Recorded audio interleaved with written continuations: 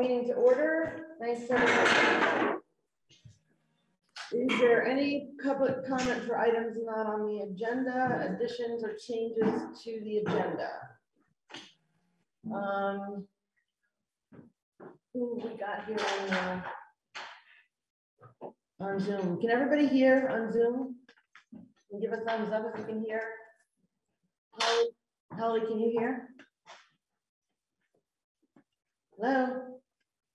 Holly's muted and she's got her screen turned on. Yeah, okay. Hold on. Sean O'Neill Yes, for joining us, what's that? joining us. They need one? Okay, so we're getting started. Um, I just wanted to review with the select board that, um, I attended the planning commission's public informational meeting on the changes to the town plan. And in reviewing the timeline, if folks in the audience could please not talk, that would be really helpful. Thank you. It's really distracting and then it also affects Zoom. Um, the select board is going to need to hold a public hearing, um, somewhere around, uh, November twenty-second. So we'll make it coordinate with one of our October meetings, which November twenty-second is a select board meeting. And I would like to suggest that we ask the planning commission to, someone from the planning commission to join us to review the changes and so forth with the select board and anybody that shows up to our public hearing. Does that make sense? Okay. Um, is Sandra? Oh, the the warrants are circulating. Sandra, are you on? Yes, yes. Right, you are up. Um, let me go to the, hopefully Katie has done such a fantastic job of putting things in order. Um, treasurer's report should be here somewhere, right? Katie? Oh, Wait a minute, all right, let me go back and look. I'm not seeing. Hey. Rich, can you, can you attach, can you go into your Zoom program and that way you'll be on the screen too? There we go. We don't have camera ability tonight. All right, Sandra, take it away. Hi, everybody. Um, did you all have a chance to review the report? Were there any questions or is that, does anything stick out that you'd like me to talk about and uh, specifically we're in the first quarter of the year is not really a good indicator of where we're going to be by the end of the year, but we are um, on target for the most part in expenses and in revenues. So uh, it's promising. Tax collection is going very well. Um, all delinquent taxes from 2020 have been collected except for the one parcel we have uh, been concerned about. I have sent uh, a certified mail return receipt, re- return receipt requested uh, bill. The taxpayer in question has not picked it up and the um, letter has come back. Now, no mail has been returned to the office as undeliverable. That Includes the 2021 tax bill, um, which is not, and the first payment hasn't been made on that either. So at this point, Recording in progress. so I'm not sure I'm still on. Am I still on? I'm still on. Um, I just, there's a message on my screen. Hang on. So I think it's up to the board at this point in time. My recommendation would be that this parcel needs to be sent to the attorney for collections. It meets all of our policy um, requirements, no contact, not picking up mail, no payments, um, et cetera because this is, this person is a senior and we just can't seem to locate anyone who knows her. You might want to make one last um, effort if the board decides to actually send someone, social services or whatever, out to see if this person is there. Otherwise, um, really, the parcel uh, for if treat everyone the same, the parcel should go to the attorney for collections. I'm sorry to say that, but at this point, there, there's no participation on the other side. I think I can find out whether that person is um, there or not. We don't want to, I don't think I want to say the name out loud right now. But I think I have a way to, find that person is actually there.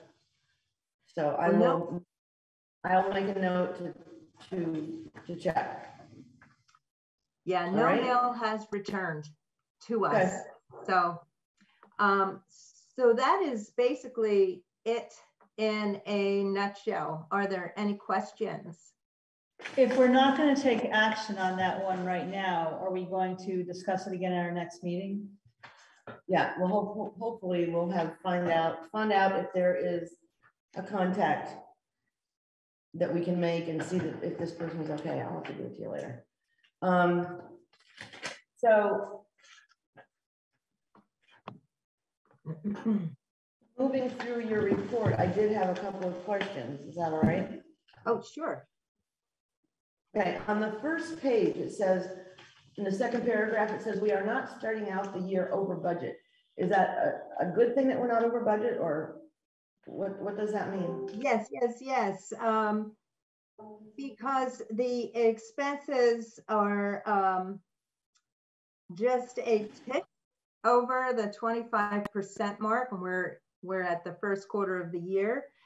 But the, the point there is that we have a number of one-time expenses that are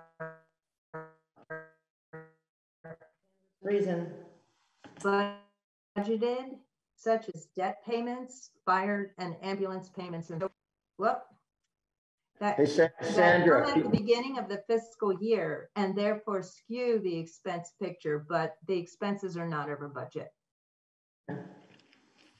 all right, then I had another question on page five of the report. Remind me about the social services agencies. Do they send us an invoice to, to receive the money or does that automatically get paid? Remind us how that works. Uh, most of them do not send invoices, and so for those who do not, they are paid um, in December at the conclusion of our tax collection effort. But there are a few who go to the trouble of sending us invoices, and we put them on order and pay them. They're they've been approved at town meeting. Full, um, method. It would automatically get paid at the end of December Somewhere after in tax. yes. All right, that was that question, and then I think I think I have one more. Um, I guess I didn't. Nice, well done as always. Anybody else have questions? The treasurer? No, thank you. Okay, anything else, Sandra, that you'd like to share with regard to the treasurer or uh, delinquent tax collector? No. We look good. Yeah, great. Uh, The, I do, uh, just a, just a moment, with the draft audit is sitting on my desk at this point in time. There were a few extraneous questions that came in over the last week. They've been answered. And I think um, I'm about ready to approve it, which means that the um, auditors will be asking to meet with the board and over the next, uh, I guess in November, Okay, well, let us know so we can get them on the agenda. All right, next up is Memorial Hall Association has asked for their final payout from the Conservation Commission Fund that we had. You know, we said we had paid out in two different installments. So they sent, here is the, here's their request. Um, the final installment of ten thousand dollars from the Conservation Fund. And their architect, Ryan Edwards, sent um, a letter that I'm sure you've all reviewed. So objection, or would somebody like to make a motion? Is there someone here from Memorial Hall? I Don't see anybody. We can't see everybody who's here. Don't don't see anybody. I saw his letter. I'll move the payment, that we approve the payment. I'll second it. All right, is there any further discussion, comments? All right, all those in favor, please say aye. Aye. Any opposed? Hearing none, motion carried, very good. Um, next up, and I think Jeremy is on here somewhere. Or maybe not. He, I, I asked him if he had, I just told, we made an arrangement quite some time ago, folks will remember, to have the treasurer and the town clerk have time on the agenda at our last meeting of the month. So I just wanted to make sure that we followed through on that. So moving along, next up is Mr. Road Commissioner. You want to join us?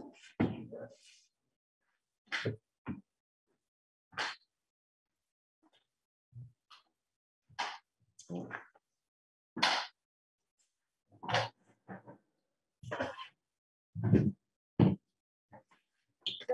what's going on? Anything? Uh, Big news for today is the chipper is arrived, has arrived. So I went and picked it up. In the shop. Does it look like what you hoped you would buy? Yes, yes. Well, I see a sample before I order Is it the same thing you saw? it. It is, yes. Yes, very much so, yeah. Brand new. You put it to work. I have not yet. That- Just that's gonna take a bit, I It'll reckon. take- Yeah, there's some getting used All together, right? You don't have to put it Oh, together. yeah, it's all Okay. together, yeah, it just needs, you know, gotta get used to the functions and it's sort of. The Oh. idling up and down, hmm. and whatnot, you can control as far as when it idles up and when it doesn't, and how fast it goes and all that, so. There's a little bit of figuring out there, but New toy to play with. new toy to play with, yeah, but we will be putting it to work this fall, of course, no. What's our, just out of curiosity, what's the, do you off the top of your head know the warranty period on? on I believe it's a year. Yeah. One year, one, full coverage, one. Okay. Yeah. Where do we store, when we get a new piece of equipment like that, do we have a place to store that? Out undercover Uh, it's a good question. We really don't. Uh, We really need to put up something, a pole barn or something for, because we are, I mean, right now, we've got one grader that sits out all winter. Yeah. Um, there's generally one truck that's in the cold storage. It's got a roof over it, but it's not warm. So we are, we are sort of outgrowing the, the dry space that we have available over there. Is there room to extend it? I think that's pretty constrained, that site, right? Uh, it's, yeah, so you couldn't really add on to the building, but you could add another building, I think. Mhm. You know. Across. out Across or out and back where we store gravel. Um, We could put up just a cold storage shed, something of that nature. Uh, another thing to think about, I don't know how far deep down this road we want to go, but Well, it's not on the agenda, but no, no, but just in the conversation, uh, McCullough's might be interested in selling us a little bit of land from their piece that would add mm-hmm. to ours, would allow us for more great. space, yeah. you know? Well, maybe you at some point come back to us. Well, yeah, let's. Yeah, I mean, that's not thing that I'm even Yeah. beginning to Yeah. pursue. Right, but right now we got, right now we got issues to resolve, looking at the winter and hiring.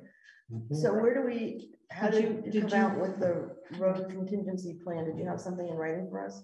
Yes, I did, and I have copies for y'all. Okay, Uh, it's, it's very preliminary and you guys can. Trash it. It's all over it.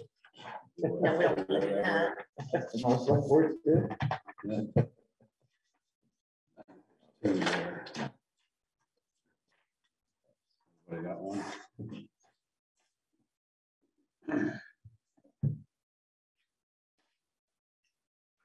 I also have a list of all the roads that I would propose to uh, not do in the event that we only had three people. I mean, not do it all or do it a different Or time. do, do it at a different time, right? I, I don't think we can not do any of the roads. Right. Right. Because we get state aid, and the state, we don't want the state coming down on us. Yeah, But we can, we can sort of put them on, a- at a later time mhm. in the day, just go back around and uh, after the buses are done. I'm surprised Bain from always on here. Well, uh, I, I sort of focused on the dead end roads, Okay, anything that are, that is through, that goes from one road to another. I or see, like From a- a town to another town. mhm. I don't feel like we should really second them. Hang on now. Um, we're getting ahead of you, but I want to circle back that these are not all dead ends, No, but you can That's right. explain, you can explain. yeah, okay, so why don't you explain to us your plan? well, Can we just, so, so the current status is like status quo, if we have full staff, right? Can we let Alfred? right, as we, as what we have right now is for, for drivers, for operators, for plows, that's what, that's status quo, that's what we've always had. Um, so in the event that we only have three, Ed is sick, one of our other guys are sick. That's when we, um, go with the possible situation column. You mean this? Yeah. I mean, this is not complete. Uh, No, no, no, no, it's a good start. Near complete, But it's, start. it's a stab and that's what you asked me to do. No, I, I get that. So, so we have Tyler And the roads. and, Bruce. Tyler, Ed, Bruce, and oh, myself. okay, And then Ed is the, That is the. Temporary. Temporary, part-time. Slash temporary. Temporary. okay. So you're including yourself an employee. That was kind of where I was getting stuck. Got it. Oh, yes, With I it. drive a Yep, truck yep, too. every got day, it, yeah. yep. So I, I take one of those. So less important roads or holes, as you call them. So this, Right. with this list, So Jen, putting aside, I, I, go ahead. yeah, I just want to give Alfred a chance to explain before we start asking a bunch of questions. Go ahead. Uh, right, so having only three drivers, it's, our rodeos are gonna be more like eight hours. Instead of six. And that, and that is based on doing the whole town, right? So minus these, that's us doing all these roads that are on the list. Oh, If that, we- okay. If we don't do all those roads, we can bring it back to six hours with three guys, I mean, if you do them later. if I do them later. Yes. Yeah, and the question will be too, it's like what, obviously, you know, this something I want to address is how many hours can you, s- can your crew safely drive, you know? with- Right. In, Right. what is that service period before you've got to be rested? And then, Well, you it's know, in our road, winter road policy, which I think we probably need to revisit just to refresh everybody. Right, Y- Yeah, that would be, so something for round two is setting out what are the assumptions. So one assumption is that we comply with our safety standards existing. In the, yeah, you might want to say the winter. And Katie, that- for the record, we, it's the winter roads maintenance policy and it's on our website. And as it stands right now, that sort of, uh, it it talks about time that we're out there. Right. Not the amount of time, but the, the hours that we're. Right, from this, right, when we would start, we so- start plowing at six, at three, and then we end at I think it's n- by nine, Right. By Minimal, nine? minimal service after, after. nine. right? But in that policy, I remember it said how long we want, how long the rodeos are. And, and that the crew has to take a break after so many hours. Right. Do you remember what that, those numbers are, Alfred? I don't, not on the top of my head. I mean, it's, like I said, it's, it's more, more talks about from three o'clock in the morning till nine o'clock at night. Um, And, and hours beyond that are less service. So if there's an emergency, we're gonna be out there. Somebody's gonna go take care of that particular road emergency. Well, but, but I'm having a little trouble squaring, so I think we just need to note this, but really, I'm having trouble squaring that we're on the road possibly from three AM to nine PM, and we have driving safety standards that we're meeting. And we don't have to, this is a rabbit hole that we could probably spend forty-five minutes on. Right, but that's something we need to look at in conjunction with this, but I don't think we, I think it's, that's a piece of this puzzle. Right, But let's get through this Right. tonight. And, and like you said, the, the, the winter maintenance policy is something that we can revisit and change those numbers, those times, those Right. later on, not tonight. I'm not looking to change them. I'm looking, just to be really clear, I, I am looking to how do we, what is the plan where we meet the safety standard, if, if we have one, and uh, yeah, where we meet the safety standard, we're not, I'm Right. not looking to flex that, I'm looking to how do we keep everybody safe and make a plan that might mean safety means folks stay home, whatever, keep going. Okay, Katie has located the document and is gonna share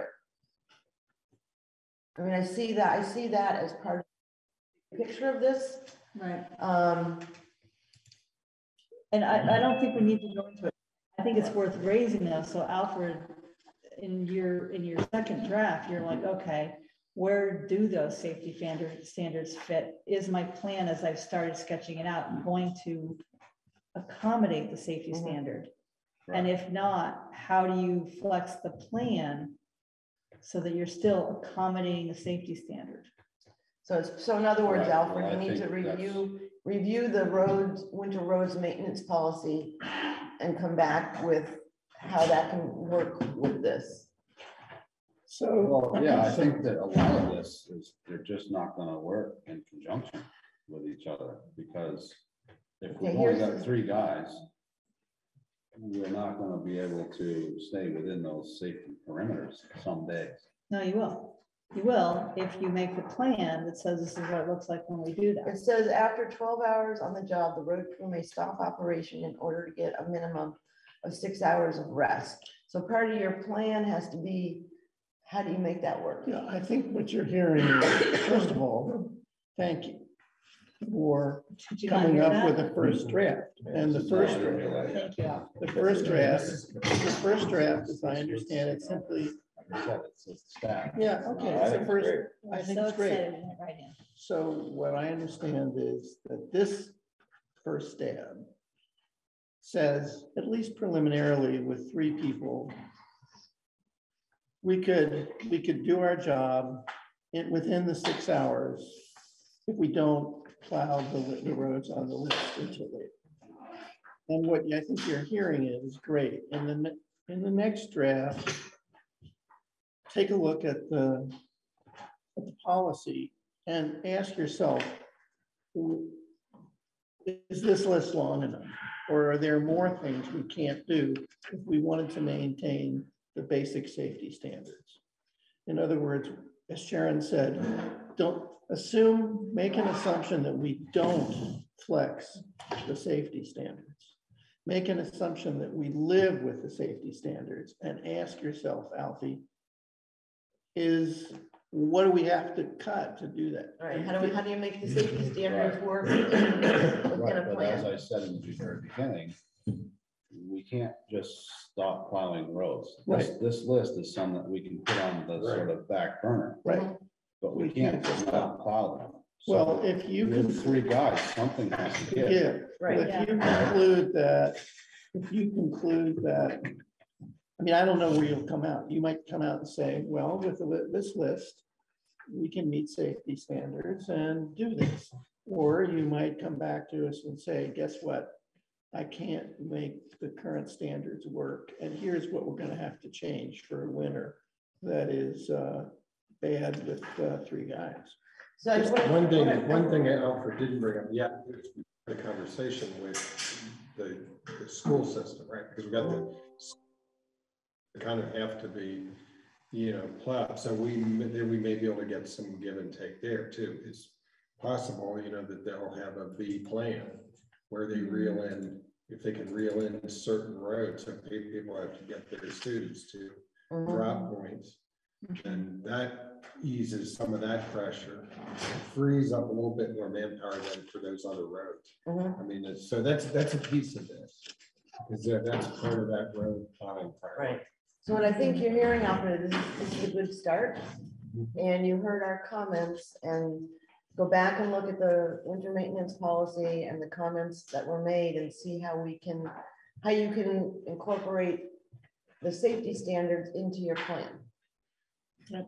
What That I, makes sense? Alfie, my view, just speaking for myself, is that I'd like us to maintain safety, really at a sort of mm-hmm. basic safety at all costs mm-hmm. and, and and plow less. If you think certain places where we're really gonna have to cut a few corners on that, then be clear, just be clear and tell us.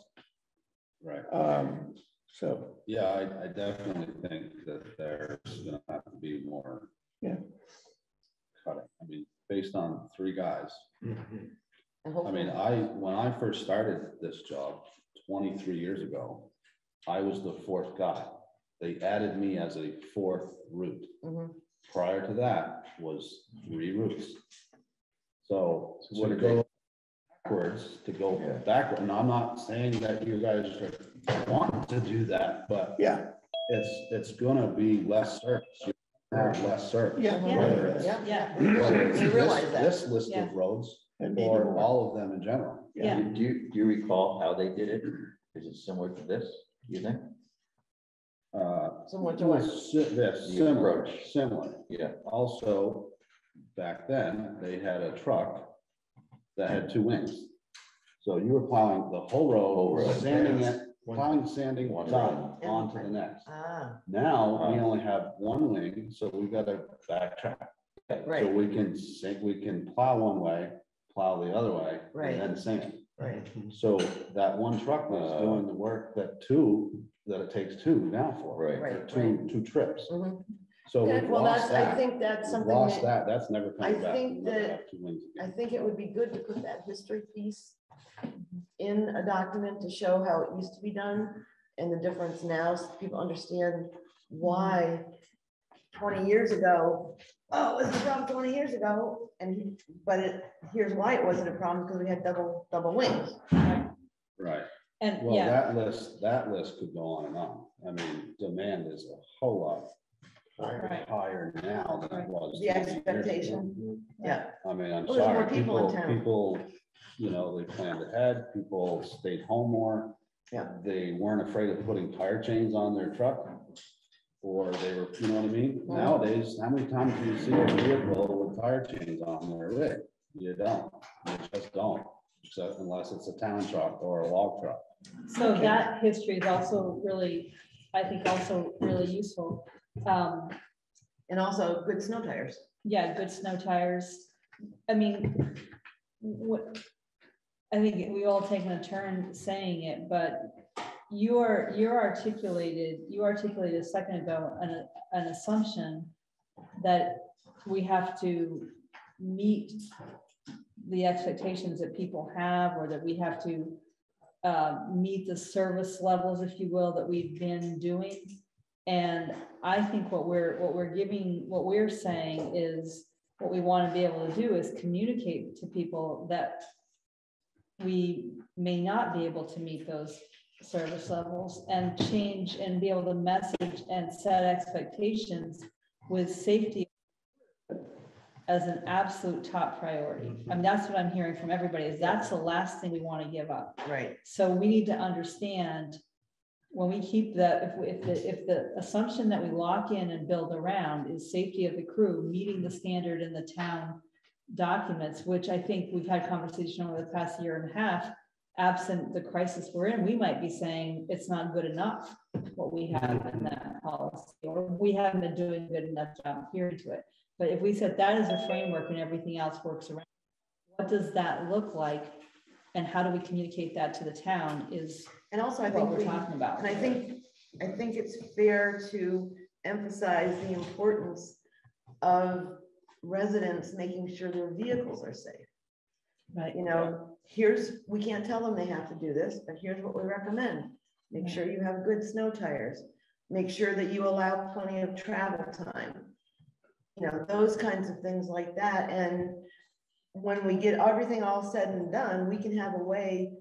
And, and I mean, not everybody has a computer or internet access, but we can, there can be a way that we can put a banner Hmm. on the website saying, you know, we're, we're in Plan B for plowing right now because, we don't have to say why, but because because, Right. you know, and maybe it's because a truck broke down or somebody's out sick or somebody got hurt. We can put a banner on our website to alert people.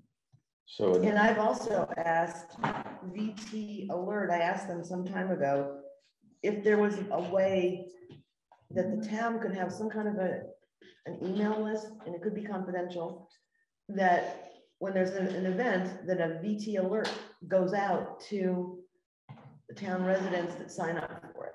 Mhm.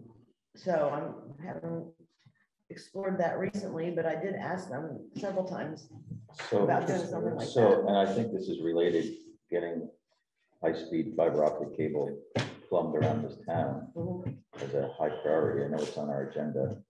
Um, would really help, would, yeah, no, I mean, or a larger agenda. Um, would help us in alleviating some of the, the demand on Alfred and his crew Mhm. during, uh, storm seasons, because people increasingly will, are gonna, will be able to remotely attend work. And the, if we, yeah, and if we could have some way to communicate, we then could include the school system in our alert that, you know, guess what? We're gonna be using Plan B for the next week. I think they automatically talked to Alfred already. They're asking about road repairs, so They make a decision on the school opening, correct? Yeah. we- So their, that communication is there, it's directly. And I think the most important thing, the next step is doing what you said, we know if we've got three people working, and we can only have a twelve hour duration, so we've got thirty-six hour man hours Mhm. to do, The whole town. that's that, road to- how many, how many plowings can we do as a straight system? Mhm. And then we look at mm, prioritizing importance, less important, Mhm. if that's what we want to do.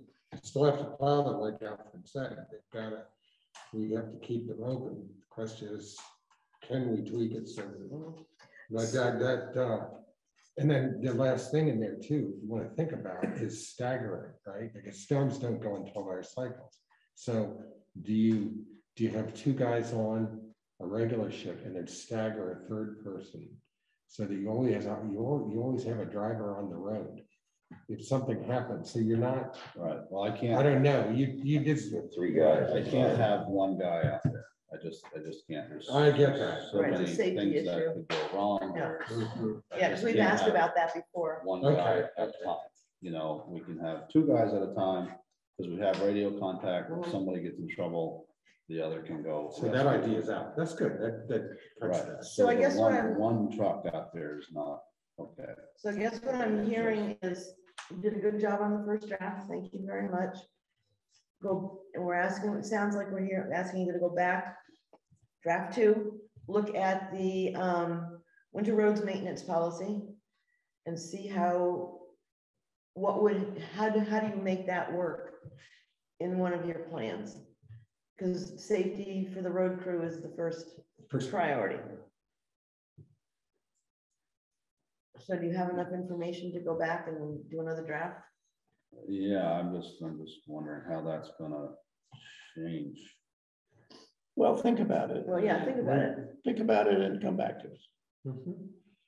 Just think about it in terms of, we know man hours, you know, say you've got Eddie, and you've got yourself, you know, you've got Bruce, and, you know, what that would, that would, whatever those three people are, Mhm. how would that division split three ways work in the town? And what would that rodeo time look like? And and then, then it would- after that in place, we can kind of, we can start playing with prioritization a bit, you know, to see, okay, Right.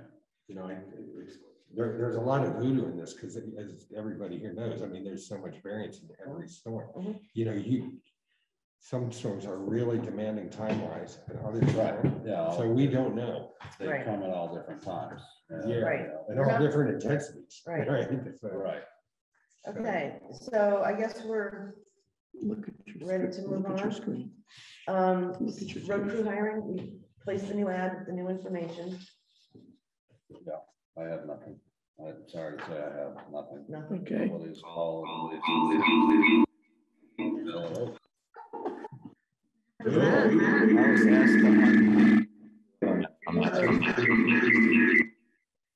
it you? No, that was me.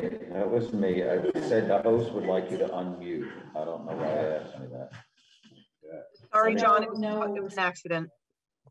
Oh, Okay, it's okay. Yeah, we don't do. it. Jeremy That's mentioned something Yeah. about maybe Barbara got something or heard somebody to get a hold of me. I just haven't, nobody's touched base with me. I don't have any paper right now. Yeah, okay.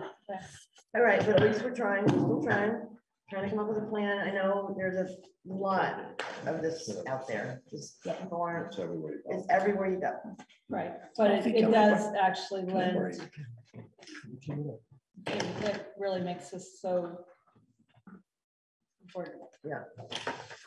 Okay, Yeah, so with that, we can go one more step.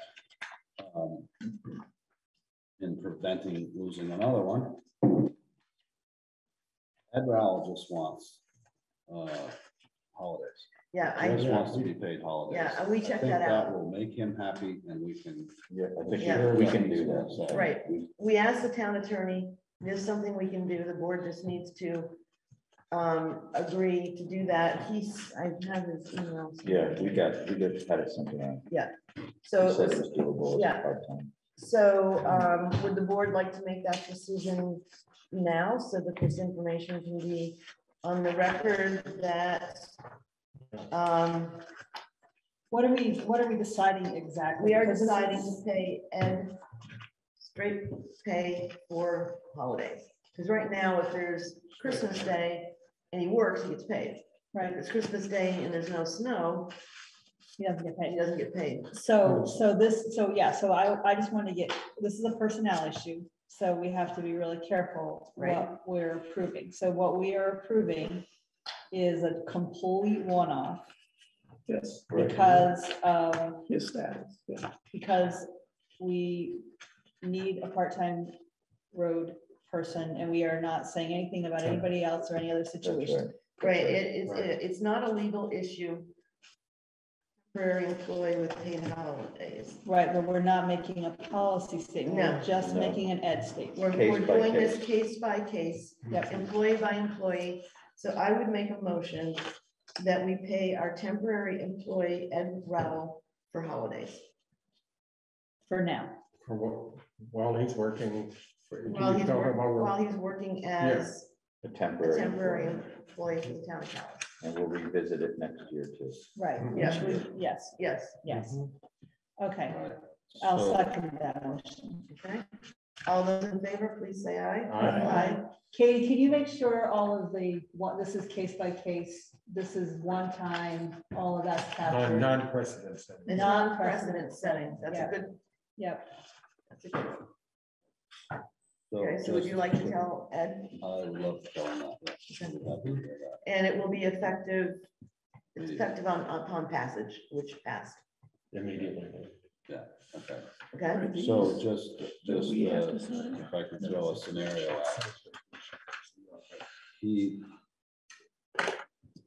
Most of, especially as the winter starts coming, he's gonna be getting, working at least forty hours. You're obligated to pay him overtime after forty.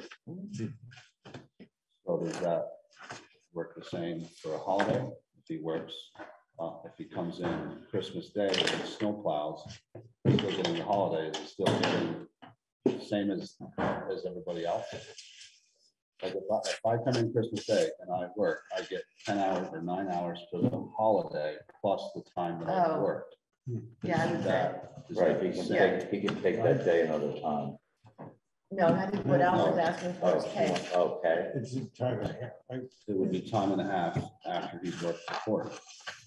Yeah. So I guess the question is, does the, does the go towards overtime? Does it accumulate? like it does for the rest of the crew. Yeah. So in keeping, the rest, how the rest of the crew does it, is that what he's asking for?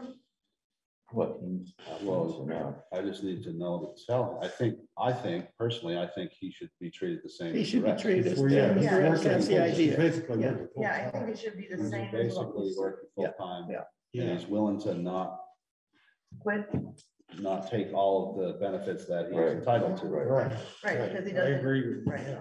So I think we should treat him with the holidays, same as. treat him the same. Yeah. all the rest. Yeah. Should we Yeah. clarify? keep No, I that? think that- we should, yeah, I think for the, for the record, Katie, can you make sure that the minutes reflect that clarification? It would be wonderful if someone would state it in a sentence. Would you mind? Go ahead, Mark. We're gonna add to the motion such that, Or we can just make a new motion. I would just When add is to the a motion. statement? such, just add to the motion It's just a statement. such that with respect to all relevant personnel provisions regarding payment and vacation Overtime. Over- and overtime, he is paid the same as other employees. Is our other full-time. Treated the same as other, Compensated. compensated the same as other employees, Other full-time, yeah. other, His overtime and holiday compensation is the same as the full-time employee. that's better. Yeah, Yeah, that, that does it. Good. Yeah, Okay. All right. Are you ready to talk about, um, Chapin Road?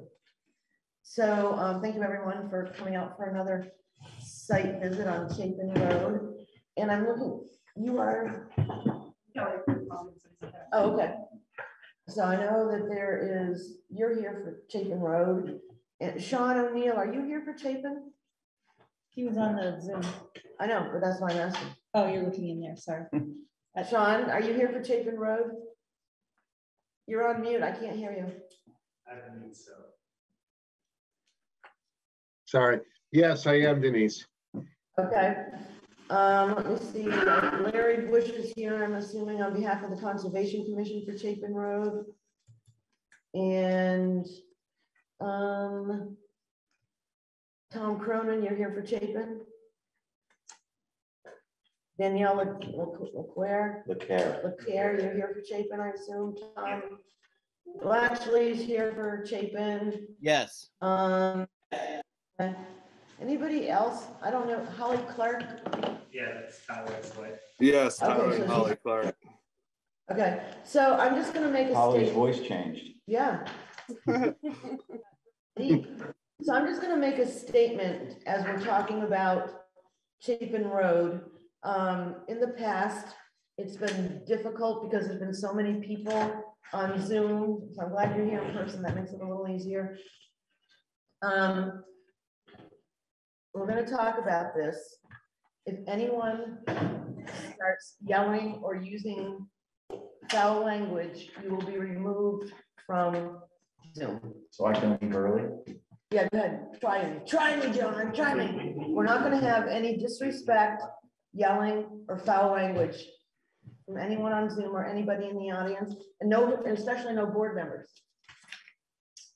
I'm no fun, what can I say? What do I come? I know, you come for the cookies. That's Oh, that's right. Okay. Um, all right, so let's get started. We did a site visit and then we did another site visit on, it was October sixteenth at ten in the morning, it was a Saturday. And we had a good turnout, the first time, we had a good turnout the second time. We, um, walked the route, the first time with Alfred and showed, he showed us where the Conservation Commission and he had decided that a parking area might be a good place to put it we did some more walking and and came up with a couple of other alternatives to um, the site, to, to a parking area. Um, on the sixteenth, when we were walking around, we, we kind of like, well, why do we really need a parking area? So here are the options um, that we came up with when we were meeting on site on the sixteenth. The first one was do nothing. Second one was to install a parking area and mark the trails. Third was mark no parking area. And the fourth is, are there other options that the board would like to consider? So I'd like to hear from the board first. We'll go around the board first, and then we'll give other folks an opportunity to talk. That make sense? Okay, John, you first. Get that camera on. Um, well, yeah, so folks, I'm, uh, our, Our ca- our remote camera is not working tonight, so I'm spinning a laptop around so folks can see what's going on in the room. Um, so I, I attended both site visits out on Chapin Road and, um, just cutting to the, the, the, the quick here, um, coming to, cutting to the chase. Uh, I, I think that there was a consensus among those who attended the second site visit that um, at least for now, it, it would be fine to get tra- trails in. In fact, trails clearly marked property lines or boundaries of the town forest would be advantageous not only to the folks using the trails in the town forest, but to the neighboring property owners so that folks uh, didn't stray from the town property.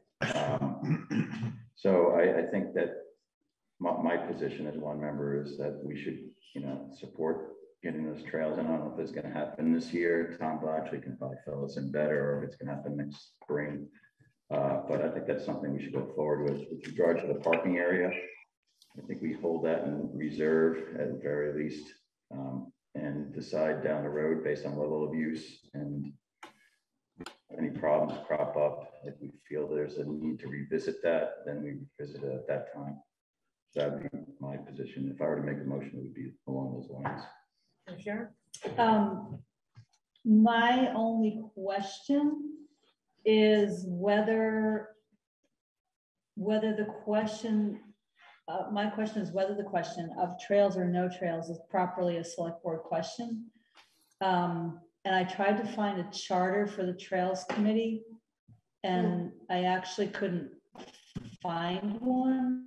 And so, um, if, so my preference would be, of course, that the question of trails or no trails, I mean, we could be excited about trails and, you Where does know, it, where did we say no trails? uh, Well, well, that's one of the listed options. it's one of the options, Mark, um, Did you, Nathan? the, the do, do nothing. Oh, do nothing. Or, um, Other options? Yeah, I mean, so, so I think Uh, without a charter, I don't know if there is a charter or a charge, and it would be good to find one if there is for the Trails Committee to understand what their, their authority is, but I would imagine that it's actually within the jurisdiction of the Trails Committee to decide whether the trails go in, where they go in, all that stuff on town property. Probably. So, so our scope of authority, having delegated that to the Trails Committee is to say, yay, excited about trails, good, you know, would be great to go for walks. That's my, my- that's all I'm saying is, I, I wouldn't want us to see us take a vote on trails or no trails. I think the question for us right now is parking lot or no parking lot. Mhm. Um, That's what I was In- sort of in the- getting at with my list. no, I know, I know, but I just, I don't want us to unwittingly like create some expectation that it's our deci- decision about trails. Unless, unless we're sure that it is. And I, And I'd like to revisit that because I think I'm in disagreement. I think ultimately this is town property and we're, we're in charge of what happens on town property. There's even liability issues.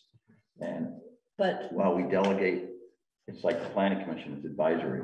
Um, and uh, unless there's a statutorily prescribed authority like the cemetery commission or something are separately elected, then I think everything falls, is up to us. Mm, but have we, um, but there's, but have we, is that, is that clear? Because it's my understanding that perhaps there are trails on other town property or the assumption that there will be trails and that question hasn't come before us. So I don't know, think that that's gonna be an issue that we're gonna worry about tonight. It would be good to find out And get clear. and get clear. Right. But I think tonight, if we're talking about, I think we're mainly talking about, are we're gonna put in a parking area? John, Mark's next. Um, On the trails, absent clarity, if there, unless there's some clear delegation, I think it's up to the select board to say, mark trails. What it's not up to us to do is to say where, how many, what they should look like. That's the trails committee, that would be the delegation. To me, that would make sense. That's the way they've always done it. That Now, doesn't mean it's, right, um, but as to the parking lot, I guess I only attended the first. Mhm. So what happened? Could s- you guys tell me what I- happened that caused that? Because in the first, we were not too enthusiastic after a while with one location, Mhm. but we found a second that we kind of liked. did you look, And at that's that- where it was. So what was your, did you look at the draft minutes that I did? no, Because that talks about that. could you just quickly summarize? That's, I, I Um, don't if need I a can lot, just a remember. little. I think it was the, the, po- some of the points that the neighbors made that currently it's used very little. Right. So the parking is not an issue. And we, we talked about the road and the fact that, you know, it's gonna have, may, if there may be increased traffic, road is narrow, which to me, that didn't sell me on that, because there's a lot of roads in Calais that are narrow and have a lot of traffic, probably more so than Chapin does. Um, so I think the fact that people were concerned um, with the added extra coming, that there wasn't an issue with parking now on the usage. So why would there be an issue going forward if it's not advertised or nothing changes in the scope of how we, pro- how we publicize or not this particular trail, which we don't with any other trails. The only one that is really used a lot is, and I'm gonna forget the name of that place, the conservation, conservancy one, Chickering. Chickering Yeah, That's not ours. That's not ours. That belongs to property. the Nature Conservancy. That one does tend to get a lot of use and a lot of publicity and events are scheduled. We don't foresee that with the Chapin Town Forest. So I think the fact that it's really, there's really no need for parking area. And in other words, people feel that there's enough parking on the side of the road, like where we park. Right. and For then three or four cars, Right, if that's and what's there's ever really that no- much. Right, there's really no need for additional parking. Can we let? I, yeah, I- but I wanna, I, I want to be able to respond to Mark's question because I would respond differently Two, to the question of what changed. I wasn't at the first one. you were at the second. I was at the second one. Um, if, if we were, if we had a vote of parking lot or no parking lot tonight, I would vote parking lot. Um, for me, the difference, the difference is we don't have to vote. We're losing nothing. We could put a parking lot in next year. We could put a parking lot in in two years. There's time to see whether any of the, whether they're, they're, To phase it. Yeah. to, there's, there's time to phase it. I mean, and Based on, I mean, based on if the trails committee puts in trails, whether the usage increases. Right. Is that what you mean? Yeah, or also, I mean, we do have to be aware, there's some concern that we, that there, that, that folks accessing the trails would block the class four road and it's Yeah, a town concern. road and people do use it for access to, you know, parcels beyond that. That could be, that could be an issue, but I'm willing, I'm willing to wait and see. I think that's what we talked about is a, Mhm. let's Yeah. see how it Right. goes. Well, what I'm thing. not saying is, like, what I'm not saying is, like, is I, I don't agree with everything Denise said. That's not necessarily, and I'm not gonna say out loud what I don't agree with. It doesn't matter. It Right. doesn't matter. The consensus is, again, if I were voting tonight, I would vote put in a parking lot. But we don't have to do that. We're losing nothing by, by reserving. Well, I think what we, we talked about too is seeing how it goes. You know, is there gonna be a lot of usage? If there's a lot of usage and it creates problem on the road that people can't get down, up and down the road, then that's a problem. Then Then we'll have to put need in a to, parking lot. right, then, then we need to address it then. And that would maybe lead us to believe we needed a parking area. But if nothing much changes and the current usage doesn't go up, then there's really no need for a parking area. And that, my thought is on that, and I understand where Sharon's coming from, I mean, kind of, kind of split a little bit myself, but I actually like, think it's wise to do the trails, wait and watch. It's just in the act of building that road, just that gravel road, even if we do that really short road. You are gonna, you know, we're, we're gonna have more maintenance issues in there, I think, unless, and, you know, drainage will get impacted a little bit. So I think we're, it's prudent you know, if there's a lot, if there's a big increase in vehicles down there, we're gonna see more damage to the class four. And then we're gonna have to, then we put in parking. But mm-hmm. I don't think we're gonna see, I think, I think you're gonna see so few people using it Mhm. that it's just not gonna be worth that. And I think we'll do more damage than good. Mhm. I don't know what Alfred thinks, but I'm, I mean, I think you guys see what I'm driving at probably. I mean, we have to gravel that to wherever we park. Mhm. And then we don't have properly, we have to do something with the water, which we can do. But every time you drive vehicles, if there's, you know, I mean, we're changing that natural. Well, the, that's, that's another point, is that there are two, right, possible parking places? Three. Three, Three, okay, then what that means is to some extent, people will park there. And so one of the other, one of the other impact risks, whatever that we're taking is that is not just road dam- dam- damage, but just habitation. Habitat and- damage. Yeah, habitat and, you know, that Well- there's, there'll, there'll be, all three will become parking and spots. Mike, yeah, uh, yeah, what I wanted to say in that too, I wasn't done, was with that they. There's also the confusion of where to park, and we've got a private Exactly. road starting right there, and we, you talked about. you know, Right. We have to make sure that's signed properly, because we don't want them Right, parking and blocking. I mean, that is narrow enough that it's gonna get difficult to get by for somebody. And Right. If somebody isn't careful about parking, you could block it. Well, and then I think So- that's where we're gonna hear from, Right. then we'll be hearing from the neighbors, you know, there's all these cars parked along the side of the road. Let's rethink, Let's Please revisit. park- let's please let's put in a parking revisit the lot. parking lot Yeah, option. that's But I why- think for tonight, we could vote to not take any, not say we're never gonna put in a parking area, we- but say that we're not gonna put in any parking area at this time. right, yep, absolutely. That's perfect. That's that. And And that we, why. and that we love the idea of trails.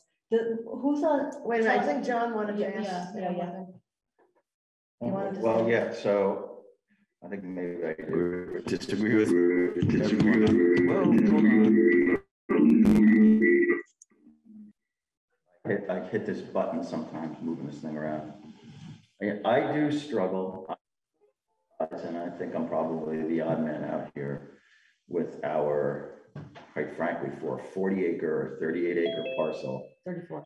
acre parcel, us invading a neighborhood and bringing, potentially bringing that a, a high level attention to a thirty-four acre woodlot. I mean, it could go either, I think actually nothing's gonna happen. I mean, I don't think anyone, like I've said to I think everyone here, I think for someone that are and the drive across town so they can hike a thirty-four acre woodlot when there's thousands of acres all around us. I mean, we're that spoiled in cows. Our neighbors, there's tens of thousands of acres. So you're gonna get in your car and drive over here, but there's a thirty-four acre, there's not a waterfall, there's not a view. There's not a special rare plant, and if there is, we wouldn't tell you.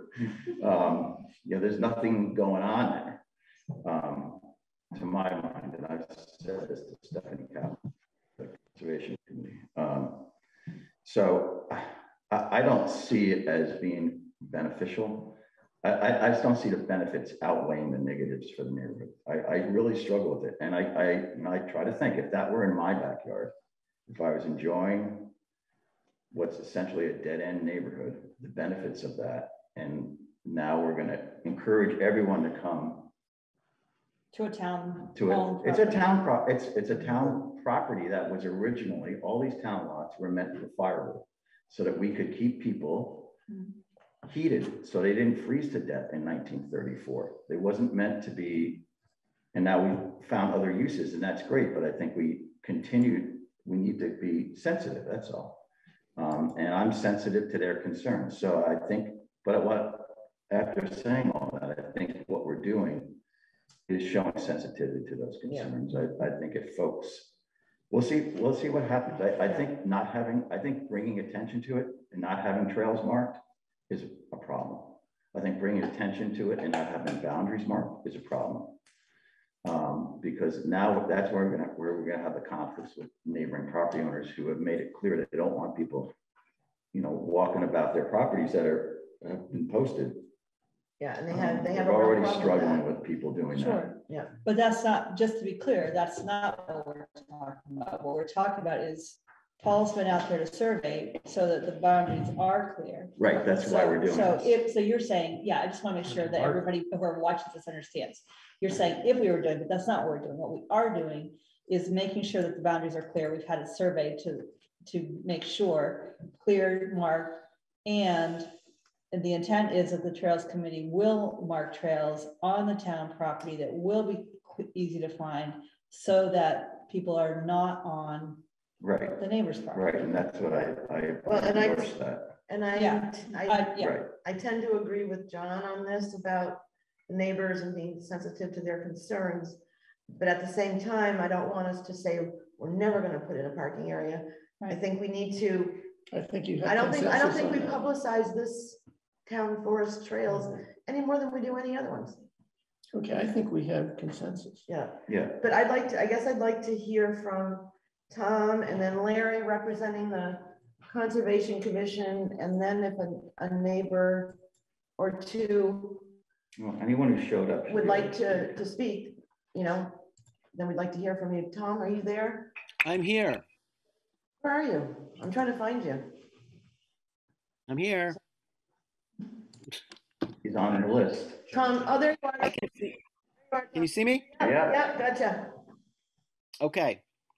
Well, um, thank you for um, the, you know, on behalf of the Trails Committee, just thank you for the opportunity to uh, to to investigate the Chapin Town Forest. I've been out there a few times, kind of scouting around. Um, I think it's actually a very interesting piece of property for um, people to walk through. Um, it's not my decision, but I, I kind of got an idea as to where a trail might be located.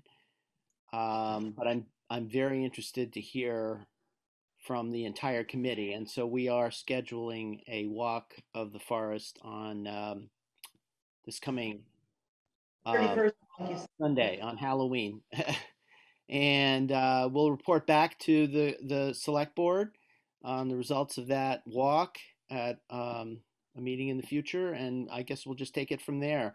I have walked um, the boundaries of it with Paul Hannon, a surveyor, and I have a pretty solid idea of where the boundaries of the town forest are located. So um, I don't think we're going to have problems with that and um, you know i don't foresee like a whole spider web you know circuitry of trails through there. It's just too small a parcel. It's not like the bliss pond town forest which is much larger. And um, and parts of it are really not traversable. They're too wet or they're too gnarly or whatever. So um so we'll report back when we when we uh, when we've done that walk. All right, very good. All right, um, I just want to remind folks, it's a little after eight. So we want to move this along, but I want to give everybody am- ample opportunity to speak quickly. Larry Bush, do you have anything to say? Uh, yeah, I, I hope just a couple of quick comments. Um, partly in response to Sharon's uh, question about, you know, how this management of these uh, town forests work. Um, this is this will sound a little bit like like turf protection, but but it is the responsibility of the Conservation Commission as things now stand, at least as I understand it, uh, to, in the first instance, be responsible for managing the forest, which would include decisions about putting trails in there and so forth. Uh, obviously, we can only make recommendations to the select board ultimately, but but the responsibility ha- uh, has lain with the um, Conservation Commission um, for a long time, at least, um, to to be in charge of the things in the uh, town forest, and that includes the trail system that's on Bliss Pond Forest, and um, and I would think probably also the one in Chapin Forest. Now, having said that, the, the Trails Committee has become a very important central uh, actor in the creation of trails on both public and private land in Calais, and we're grateful for them doing it and look forward to working with them. But I did just want to, uh, I felt, since I'm the only one here from the Conservation Commission, somebody should probably try to point that out. Very good. Is that it? Thank you, Larry. Thank you, Larry. Okay, I'm gonna go around um, Zoom first. Tom Cronin has had his hand up. Uh, yes, thank you. Are you able to hear me? Just want to keep the conversation moving, so if you can make it short and sweet.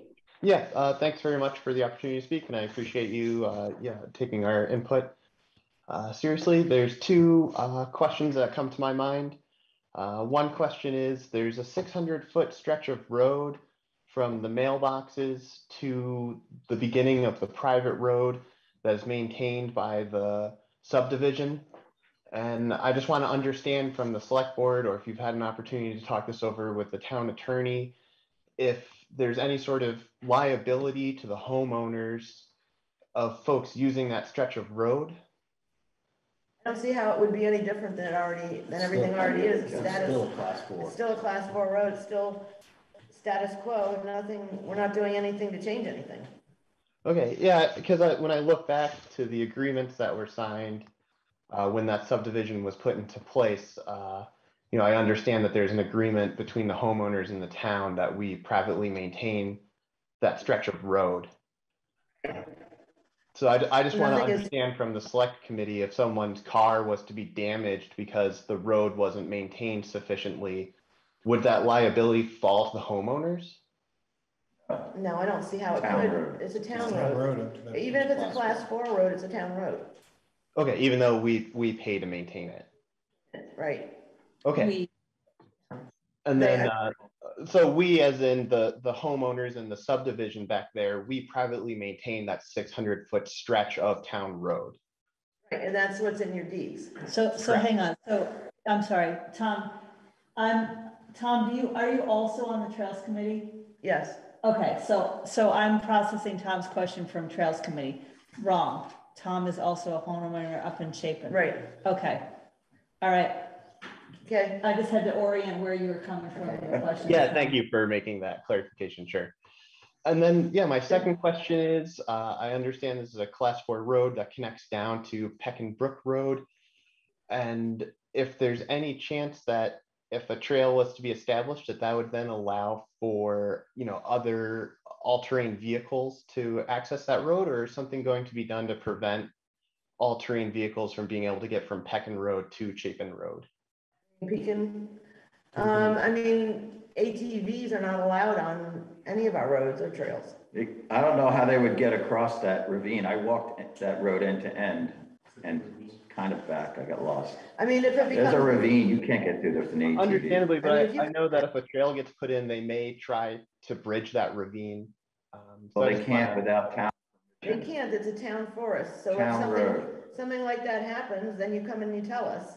And we Okay, haven't had this issue on any other, any other trail, No, we have trails in our land. We've never had an ATV. no, so it's not normally, I, No, I, But this is, this is a private, he's speaking about the far end of this class four road. right, that meets Pekin Brook Road.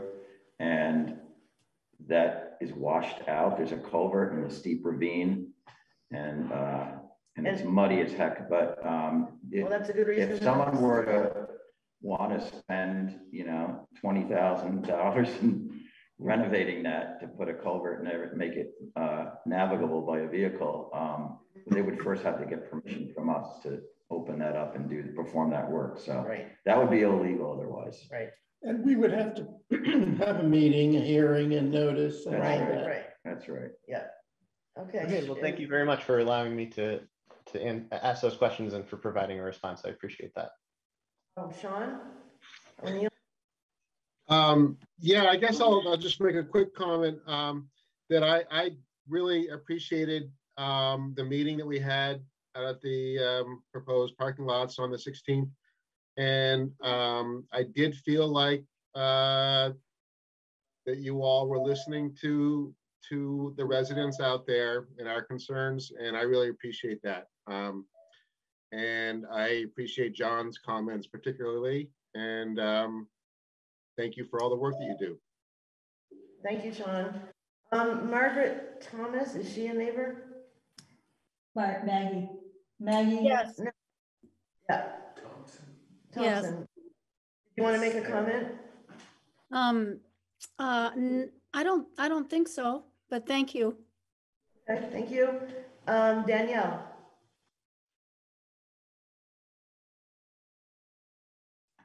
Danielle, did you want to make a comment at all?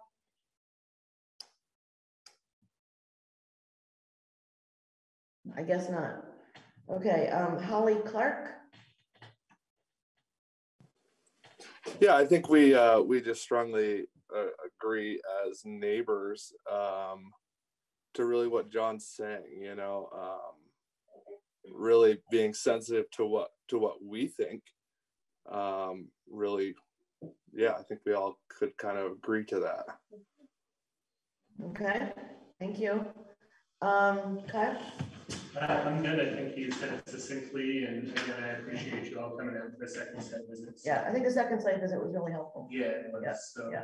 thanks. I no further comments. All right, thank you. So, so, um. I want to see if anybody, anybody else, I mean, anybody's welcome to make a comment about this. So we don't, so going back to Larry's point, I can't remember. um, We don't have a motion to do a parking lot, so we don't really have to vote not to do a parking lot. Do we, do we have a formal, I can't remember, has the, has the Conservation Committee Commission Larry, or was it Larry? And Tom. And Tom. Cronin. Tom is the trails, yeah. Um, Trails is Tom Blatchley. Who was doing, but Larry was the one who spoke on behalf of the Conservation Commission as having responsibility for town.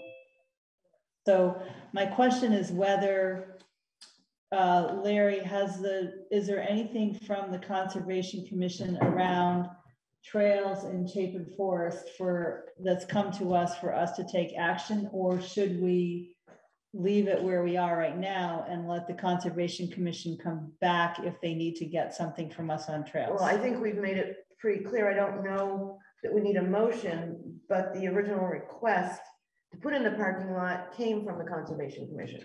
So I think we just need to get the message back to the Conservation Commission, and that can be in our minutes, that we're not gonna take any action at this time regarding a parking lot, period. Right. Does that make sense? I think, I think what we're saying to, saying, am I right, is number one, we're not going to approve a parking lot at this time. Number two, we would like the Conservation Commission, should they have a, pers- the Conservation Commission and the Trails Committee, do we want them to, if, if they have, make decisions or discuss this and come to some conclusions, do we want them to come to us? Well, they would come to us if they were asking us again to consider putting in a parking area. No, but if there was just trails. Well, if trails? they'll figure out what they need from us to do trails. Okay, well, then I'm happy just doing nothing. Yeah. Okay, no motion. Yeah. I think we Motion, just, Put it in the minutes, as I stated. We're not, we're not gonna take any action at this time regarding a parking area. right, But I At think, I this think we would, maybe we didn't, I didn't think so. I, I think we, we want to make sure this, the property boundaries are clearly demarcated. Yeah. I know Mhm. Paul, oh, thanks, Paul Hannon, by the way, once again, he volunteered Mhm, to do the surveying Right, for the town pro really? bono. Wow. Yeah. He does this. he does this, he does this a lot for us, we're very So Thank you. Paul. That's good. Um, And Yeah. he's, But I, I think Paul, if I read his email correctly, he, it's pretty clear where the lines should be. And uh, he said he'd be willing to blaze them Yeah, at some point in the future, not right off. And, um, and then we could paint the blazes next spring or something. So right. mhm. we should take him up on that offer, that generous offer Yes. and, and get those boundaries marked at the same time or near in time to when the trails are put in. Yeah. Does the Conservation Commission need something from us on that, Larry? I think, I would imagine not. I would imagine not, because Tom's, Paul's email with his offer, Larry was on that, so he can, Conservation Commission, correct? As long as they don't, need- as I, as long as there's nothing we need to do on it, if there is, since we're talking about it, we could just do it. Tom, do you need anything, Larry, do you need anything from us? Um, I don't think so. I, I think it's been our assumption, and I'm probably Tom Blatchley's in the Trails Committees as well, that uh, we could go forward on um, laying out uh, a trails uh, system in there. And by trail system, I don't mean to suggest anything extensive. Um, and uh, probably wouldn't need to come back to you for authorization on the specific location or terms of the trail unless you wanted us to. No, I don't think so. Or blazing the property and having Paul. I mean, if Paul's doing Paul, it. he's doing it for free, He's so, doing yeah. it, he's doing it out of his own goodwill to help us out, which we very much appreciate. Mhm. And he said he would mark the boundaries and blaze, so. I So think we're gonna that's- leave this to the Conservation Commission. Yes, Conservation Committee and the Trails Committee. Okay, and we're Thank gonna you. just see if there's problems on the Right. road. Yeah, let us know. Thank you, guys. Thank you Thank very you. much. Thanks. All right. Okay, um, now we're, we were ahead of schedule, now we're behind. That happens all the time. Um, now I have to figure out how to get it back. That's right. That was a good piece of work done. You can just minimize it, click on Okay, now we're going to talk about East Calais Stormwater Project. I'm not sure which one of these documents.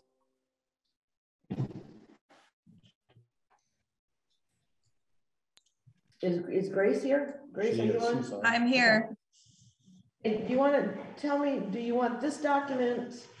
So, so tonight I just wanted to, Pam passed some information on to me before she left us sadly about next steps for the project, and I just wanted to provide that info as a update, if that works. Not have action item tonight. I don't think so. Hmm. Is- I think this was, Rick, was this just an update? It's an update, yeah, It's an update. informational, where to go next. All right, so the final design plans are done. Um, and DEC is going to be putting out a request for proposals, maybe November, December for implementation phase of the pro, of the two stormwater projects. Um, and CVRPC is going to be submitting a proposal for project management for that RFP in response to that RFP. Um, let's see. The, that's my main update that I think next steps are just waiting on that proposal and then, you know, I anticipate I will probably be leading that and I'll coordinate with the select board as needed. Okay, so that's, that's it. That's just the update then. So, yeah, so approval, there's nothing. There's nothing for No us to do. No, there's no We're action waiting, for us to take. It's just an update. Okay. Yes. Thank you. Yeah. We still have, um, Rick, are you still delegated to that project? Yeah. Yeah, Yeah. yeah, Yeah. yeah, we just, Okay. yeah, don't have any action, we're waiting for the. grant. Okay. He Yeah, just asked to have it on so we can get an update. Um, all right, we talked about, um, we got this information about this Regional Emergency Management Committee. And Grace, um, you wanna, do you wanna get into that a little bit or, or not? Sure, yeah. So, uh, the state is forming regional and regional emergency management committees, REMCs.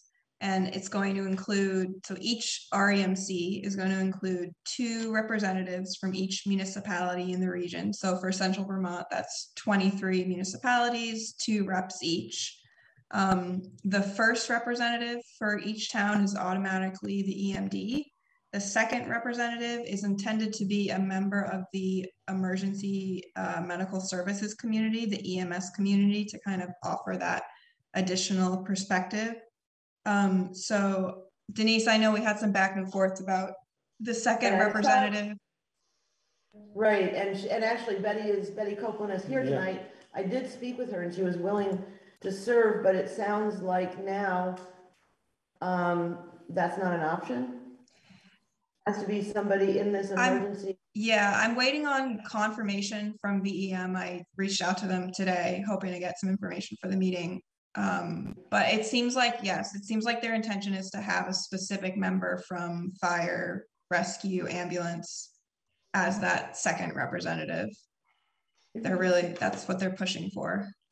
Yeah, okay, so I don't think there's anything, there's no, I I was hoping we were going to be able to vote to appoint Betty, but it sounds like we need more information Well, and really. well, So now there's a deadline on this. If Betty wanted to be a liaison to the fire department, like establish a relationship, like become a, a member, maybe there's a liaison role, and then she could be. Yeah, I mean, Yeah, some, I think something like that would work. I understand that, you know, there's not a lot of capacity for people to join another, yet another committee. Um, I and- think, I, If East Montpelier is, is part of this municipality group, so I imagine then they may have someone from the fire department representing East Montpelier. well, and don't forget, we also have Woodbury Fire Department. Woodbury. Yeah. Yeah, so we could East look- Montpelier, East Montpelier didn't pick someone from the fire department for their second rep. They picked their constable. Okay, So, so who are even the list of possibles? Does it have to, it has to be a town resident, yep. right? Or, yeah, or somebody as part of some emergency management aspect of thing. That's why somebody from the fire department is okay. Because East Montpelier Calais Fire Department, and then we have Woodbury Fire Department. Mm-hmm. But there is a deadline, but there is a, just wait a second. There is a deadline of, what is it, November 9th to make this appointment?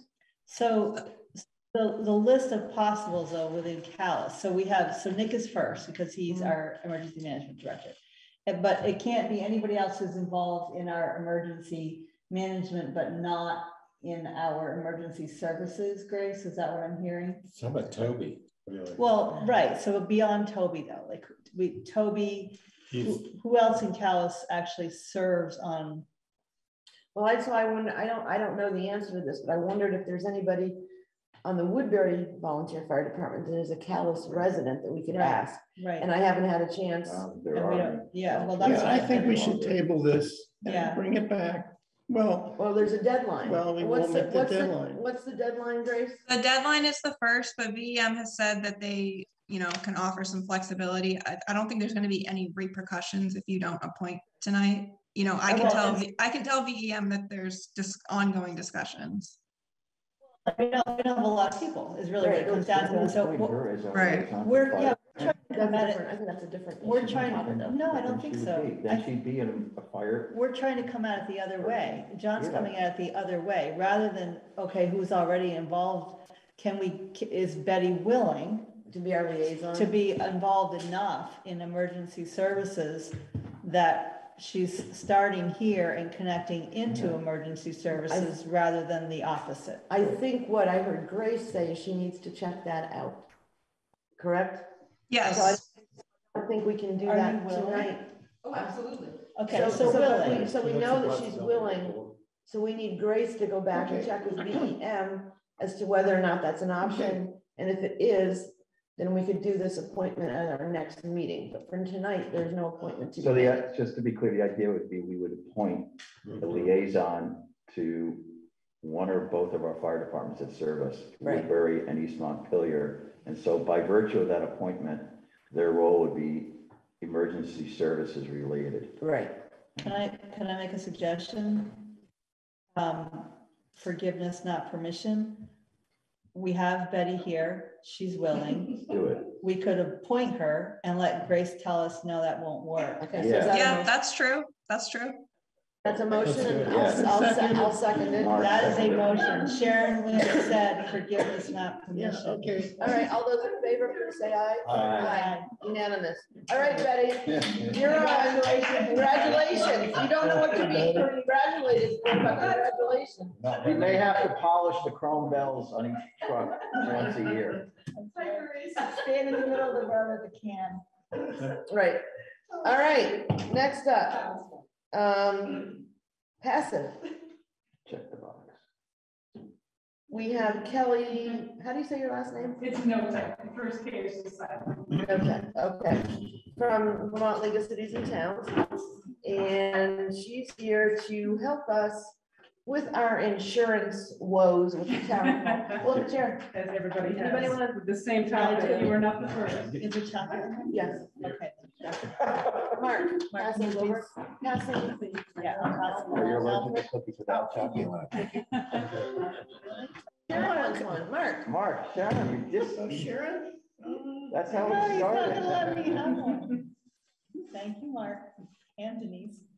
Okay. Now you can pass them. What's that?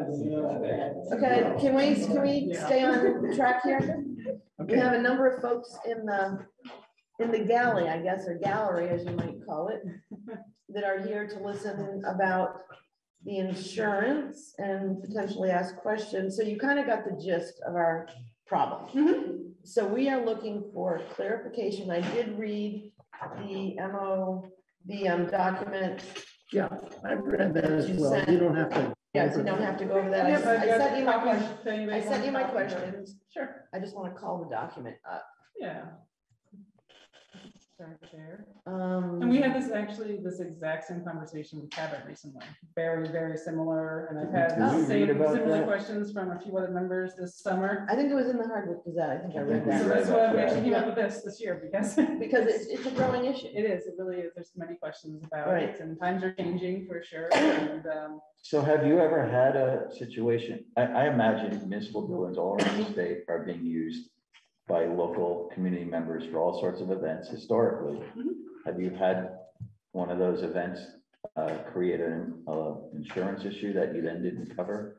I, I haven't been with PACIF that long, so I don't know personally if any. Um, and we've certainly had a fair share of claims, and there's often a lot of ambiguity to the claims as to who's responsible, who is not.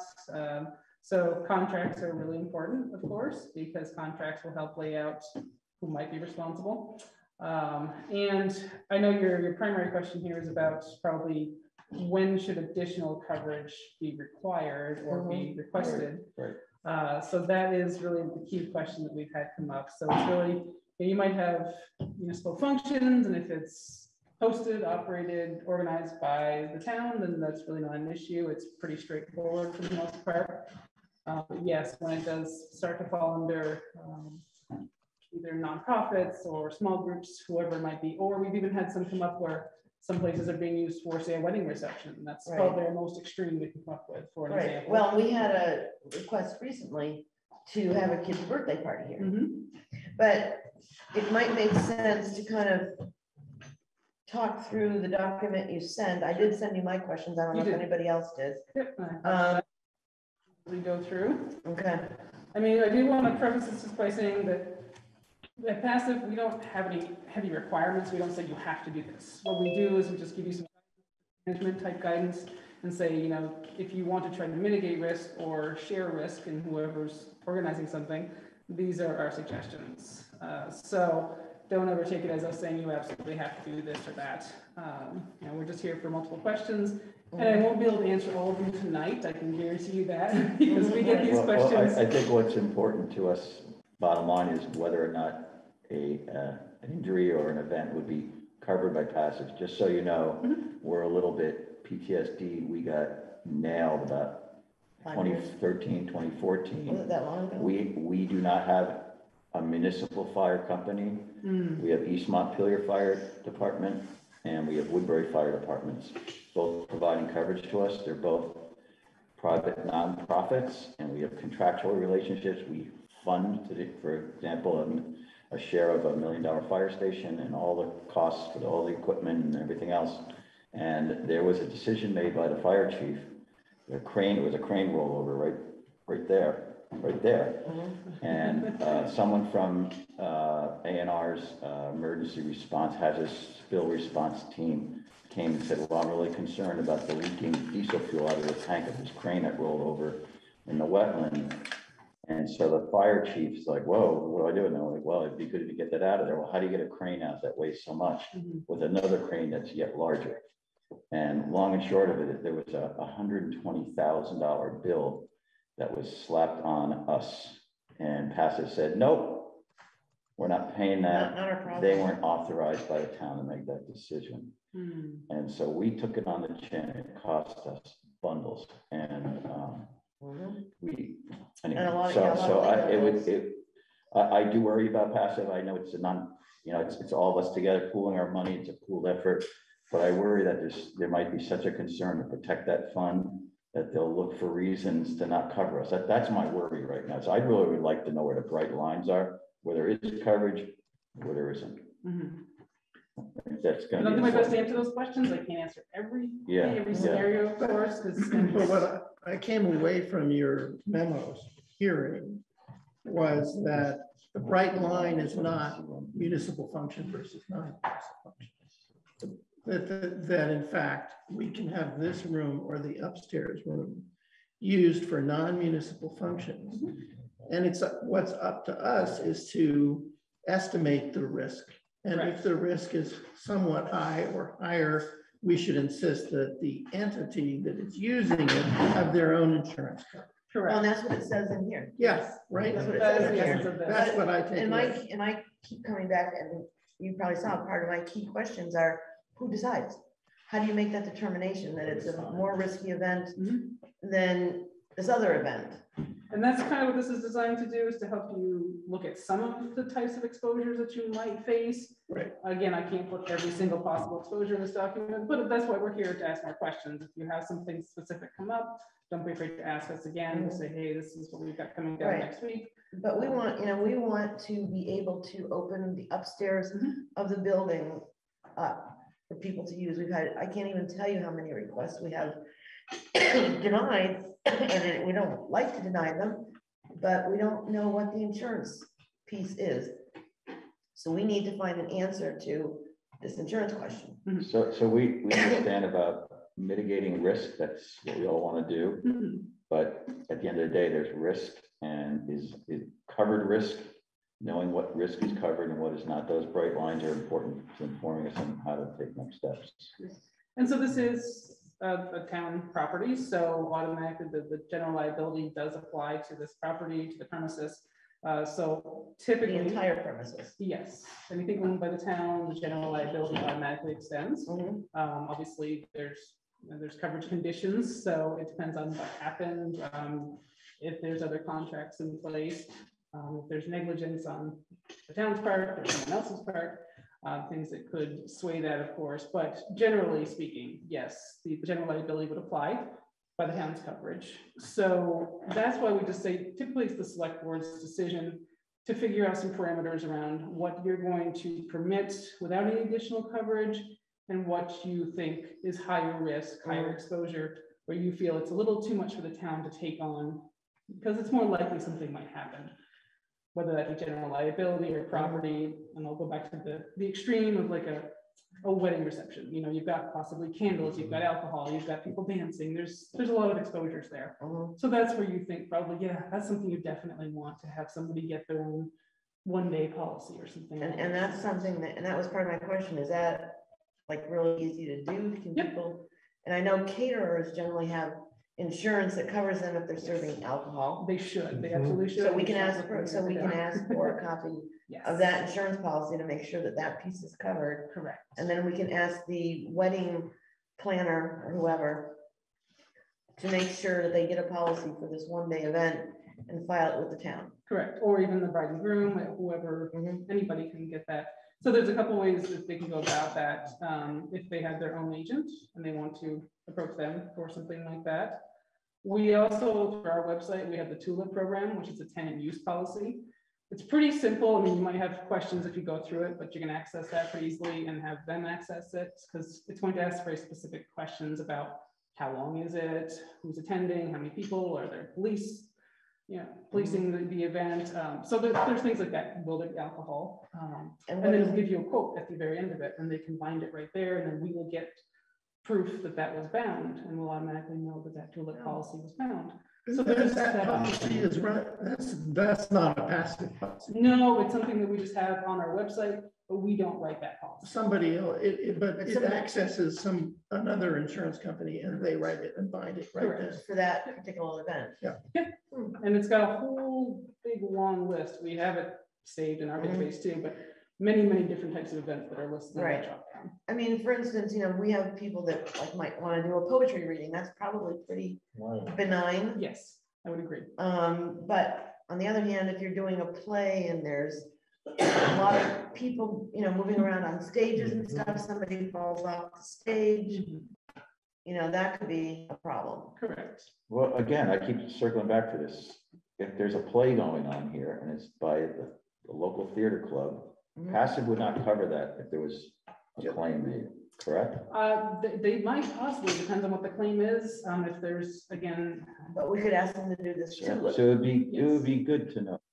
Actually, wait a This is- minute, I. This is where I struggle Yeah, with well, I passing. didn't, what I heard you say is, if it's here, the default is, it's covered.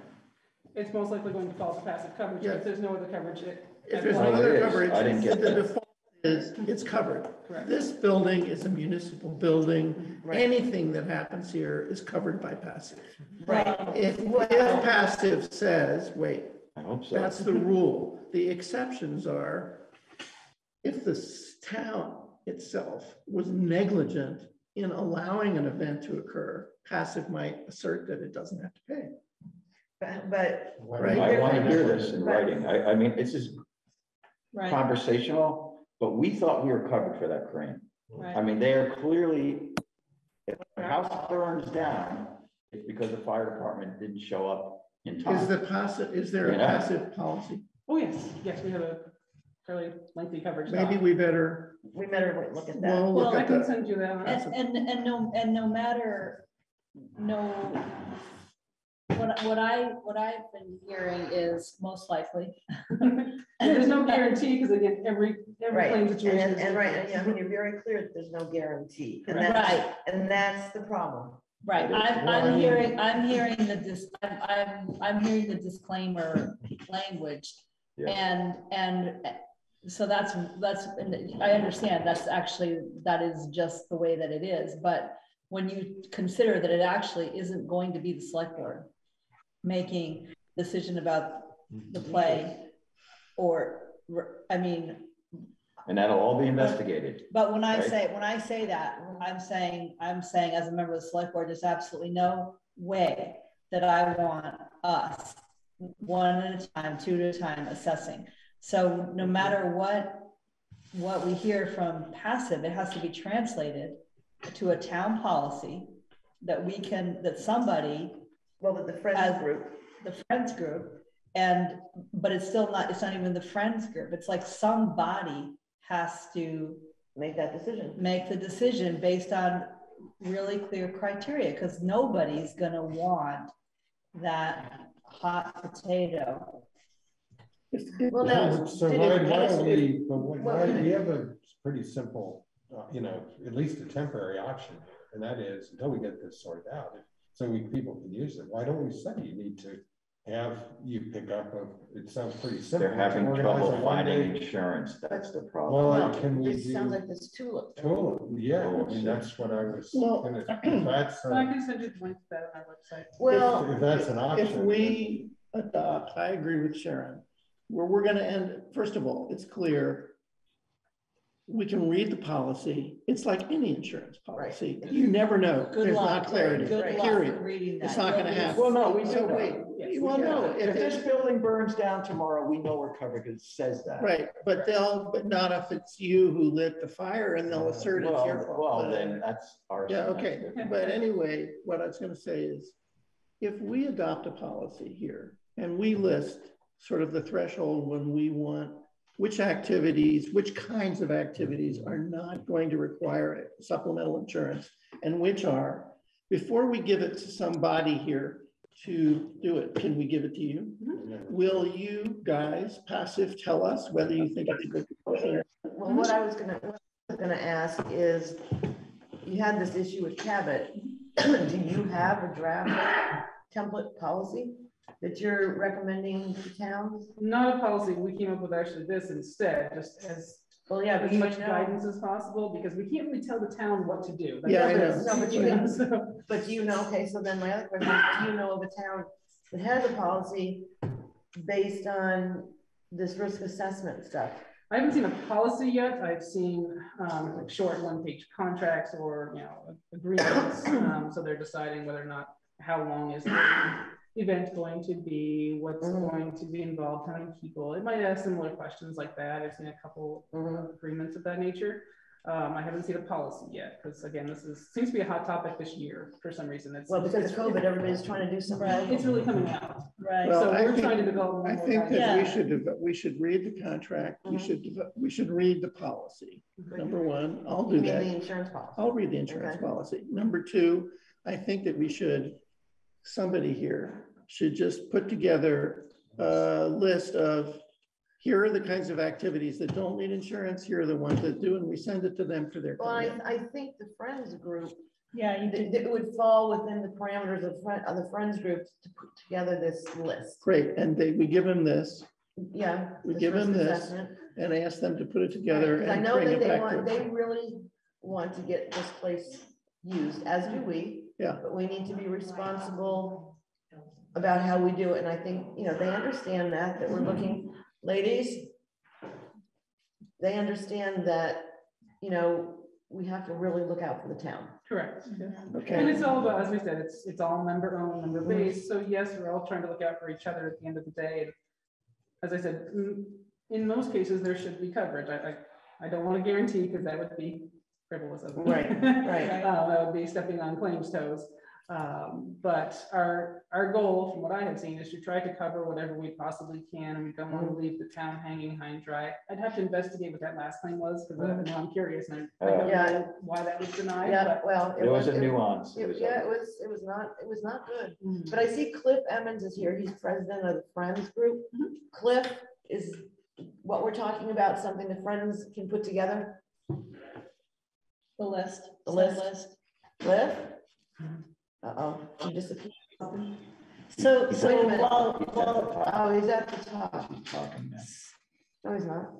Cliff, we cannot hear you. Computer issues, I'm here, I can respond to that, Denise. Thank you, Cliff. Um, thanks for, uh, inviting me to address it.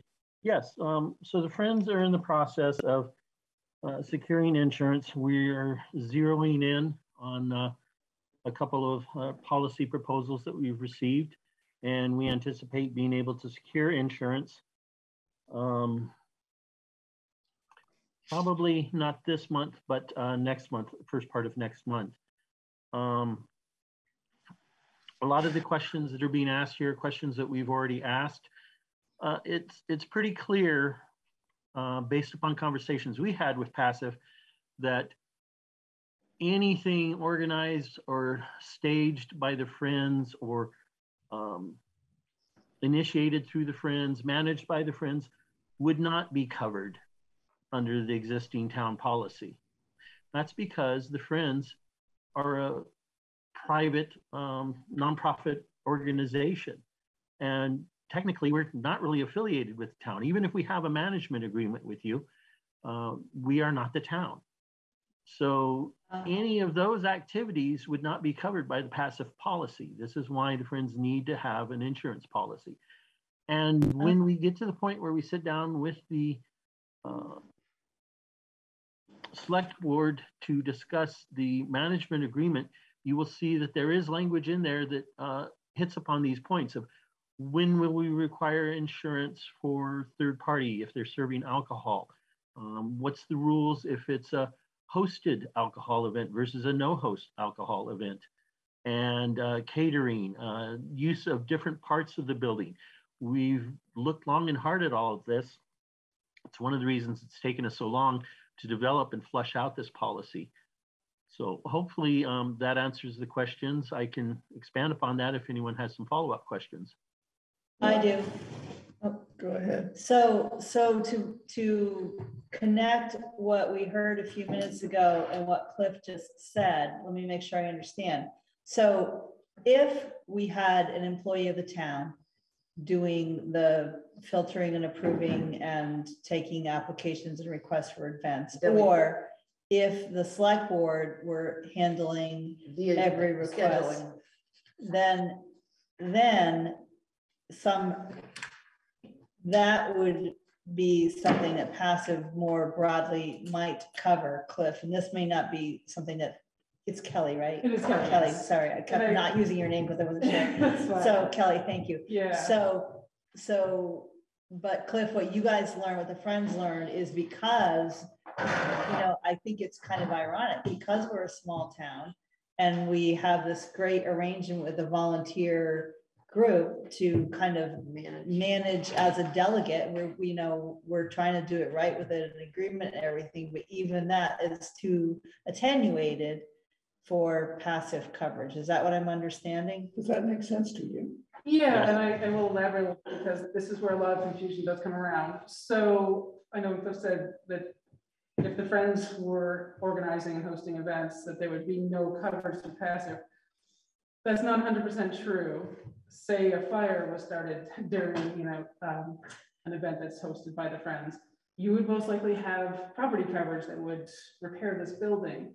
Um, General liability gets a little murky, uh, because PACIF insurance. Correct. Um, so where he is correct is that yes, the Friends should have their own policy. It's great that they're looking into that because if they're hosting the event and something happens, say somebody trips and falls, somebody gets in a fight, you know, there's so many opportunities for general liability issues. Um, if something happens there, the Friends could be sued potentially. When you And say hosting, Yep, so they're organizing, hosting, the town, this is just the town's building, but the Friends are. No, it's really something different though. I mean, maybe that's what you mean. But the friends, so the birthday party, so if we had everything in place that we want to have in place, um, Denise wouldn't even know that there'd been a birthday party request. It would Right. have gone to the Friends Committee. Friends would have said, birthday party, how many kids? Is there gonna be a donkey? Yes, no.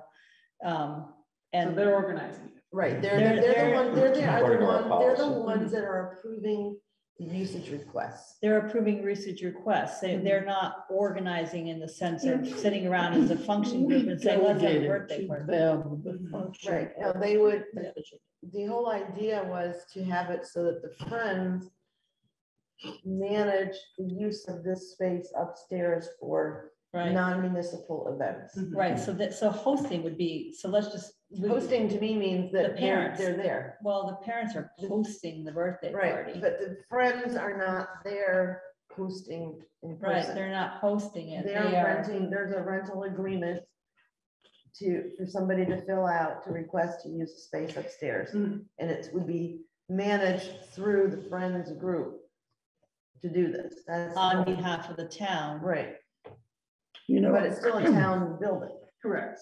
So there's a lot of layers there. Yeah. Um, and a lot of different possible scenarios. Yes, the parents are, I guess, are hosting, they're, it's all their kids, so, um, if it's a big party, a lot going on, then that's possibly a case where the parent should policy if there's, if it's pretty Mhm. big. If it's five kids and it's, you know, go No, no donkey, hour- there's no donkey. no donkey, no donkeys.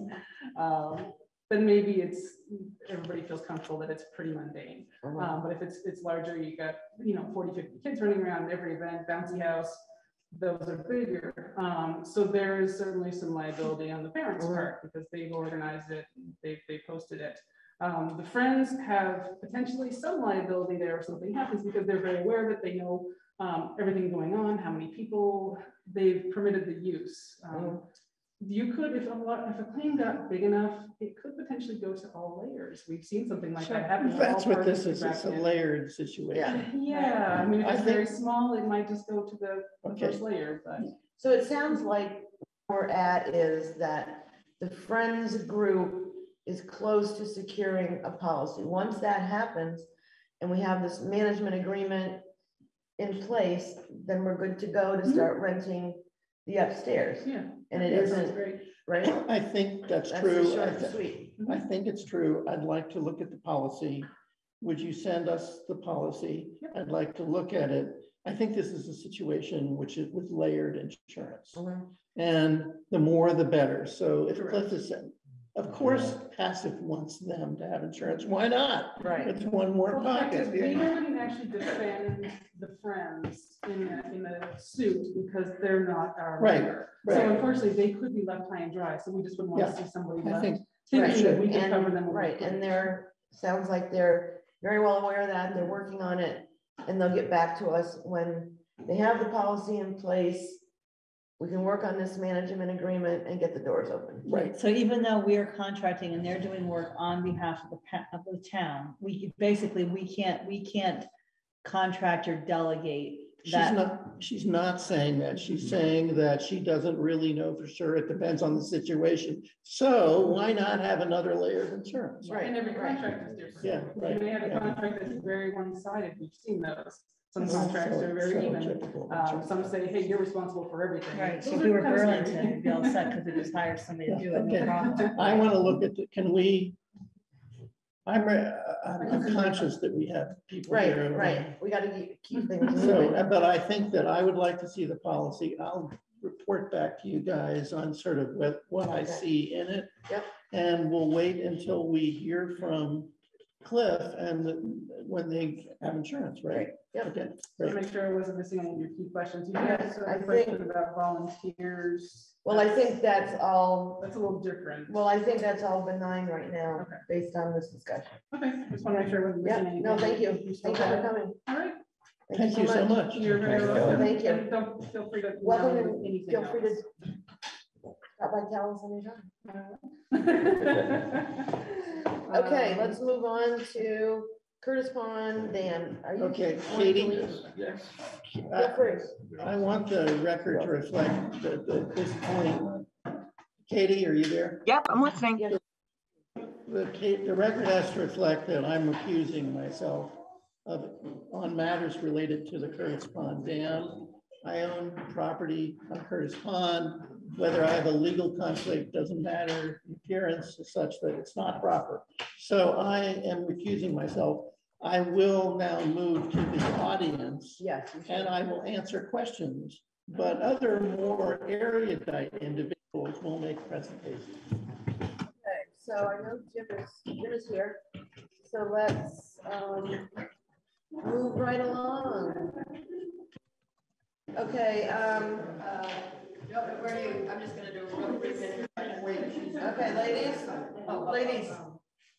Re- Renee, Kelly, if, it's really hard to finish moving along on the meeting when people are having sidebars, I'm sorry. I don't want to be miserable about it, but you can either go, you can go in the kitchen or over there by the elevator. All right, let's get started. Um, Colleen, are you? Yeah, I I was gonna just do the brief introduction. Uh, Grab a you chair. do have a, Grab a you chair. care where I am? No, grab a chair. And I wasn't here at the beginning, are masks optional or what? Yeah, okay. Um, so I wanted to, we like hard copies. Yeah, me too. I like hard copies. We're, uh, we're an old town, we're a very old pond. I think, I think you have to be over sixty-five. That property on the pond. Um, so the beginning, of our brief history, you heard it all before. I'm not, I wasn't gonna read it if you don't need me to. You know, we started a while ago. We've done a lot of work. I do want credit for that. Um, endless meetings. So our ask is, we sent out the MOU. I know that Denise read it. Yep. Could I had commented on it. Um, uh, the, uh, Mark drafted that. Thank you very much, Mark. Um, thank you guys for coming to the meeting at Marge's house. Oh, yeah. Uh, we have here, uh, Marge Sweeney, which you'll know, uh, she's a major mover and shaker. Uh, Betty's part of the CPA now, I got the email, and Rini DeGos is, uh, she is, uh, she's a recent addition to our, uh, yeah, our board You're secretary. very lucky to have. her. From East Montpelier, our No, token. East Calais. East E- Calais. East Calais, I meant to say that, East, East She might Calais. She's our resign- She token. might resign if you She's say our it's not Montpelier. token East Calais person. So we do have diversity here. Yeah, that's great. Um, and, uh, so our ask is that you look at the MOU. Uh, it's our only way forward, uh, to get the town involved. And we feel like, uh, as Mark always describes it, there's so many catch twenty-twos and there's so many chicken and egg scenarios that it's like a real estate deal. When the closing happens, all this stuff happens. And I think, you know, only a lawyer could sort of draw that up. Um, so that's our ask. Uh, I guess we talk about the MOU and what your lawyer said.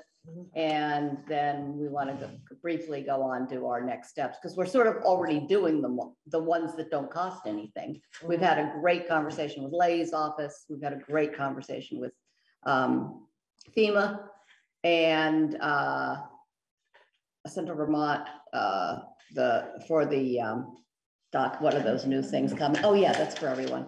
Um, what's that, uh, all those fundings that are coming down. Yeah, ARPA, ARPA money that comes from Central Vermont Planning. So we're doing due diligence on all those. Uh, so that's pretty much it. And I, uh, think we should open up to questions. Um, so I know Jim, our town attorney is here and he's reviewed the document. And. He's online. Yeah, he's on, he's on Zoom. You would, you, if he was here, you'd know it. Okay. Right, Jim? Right, Denise? Okay.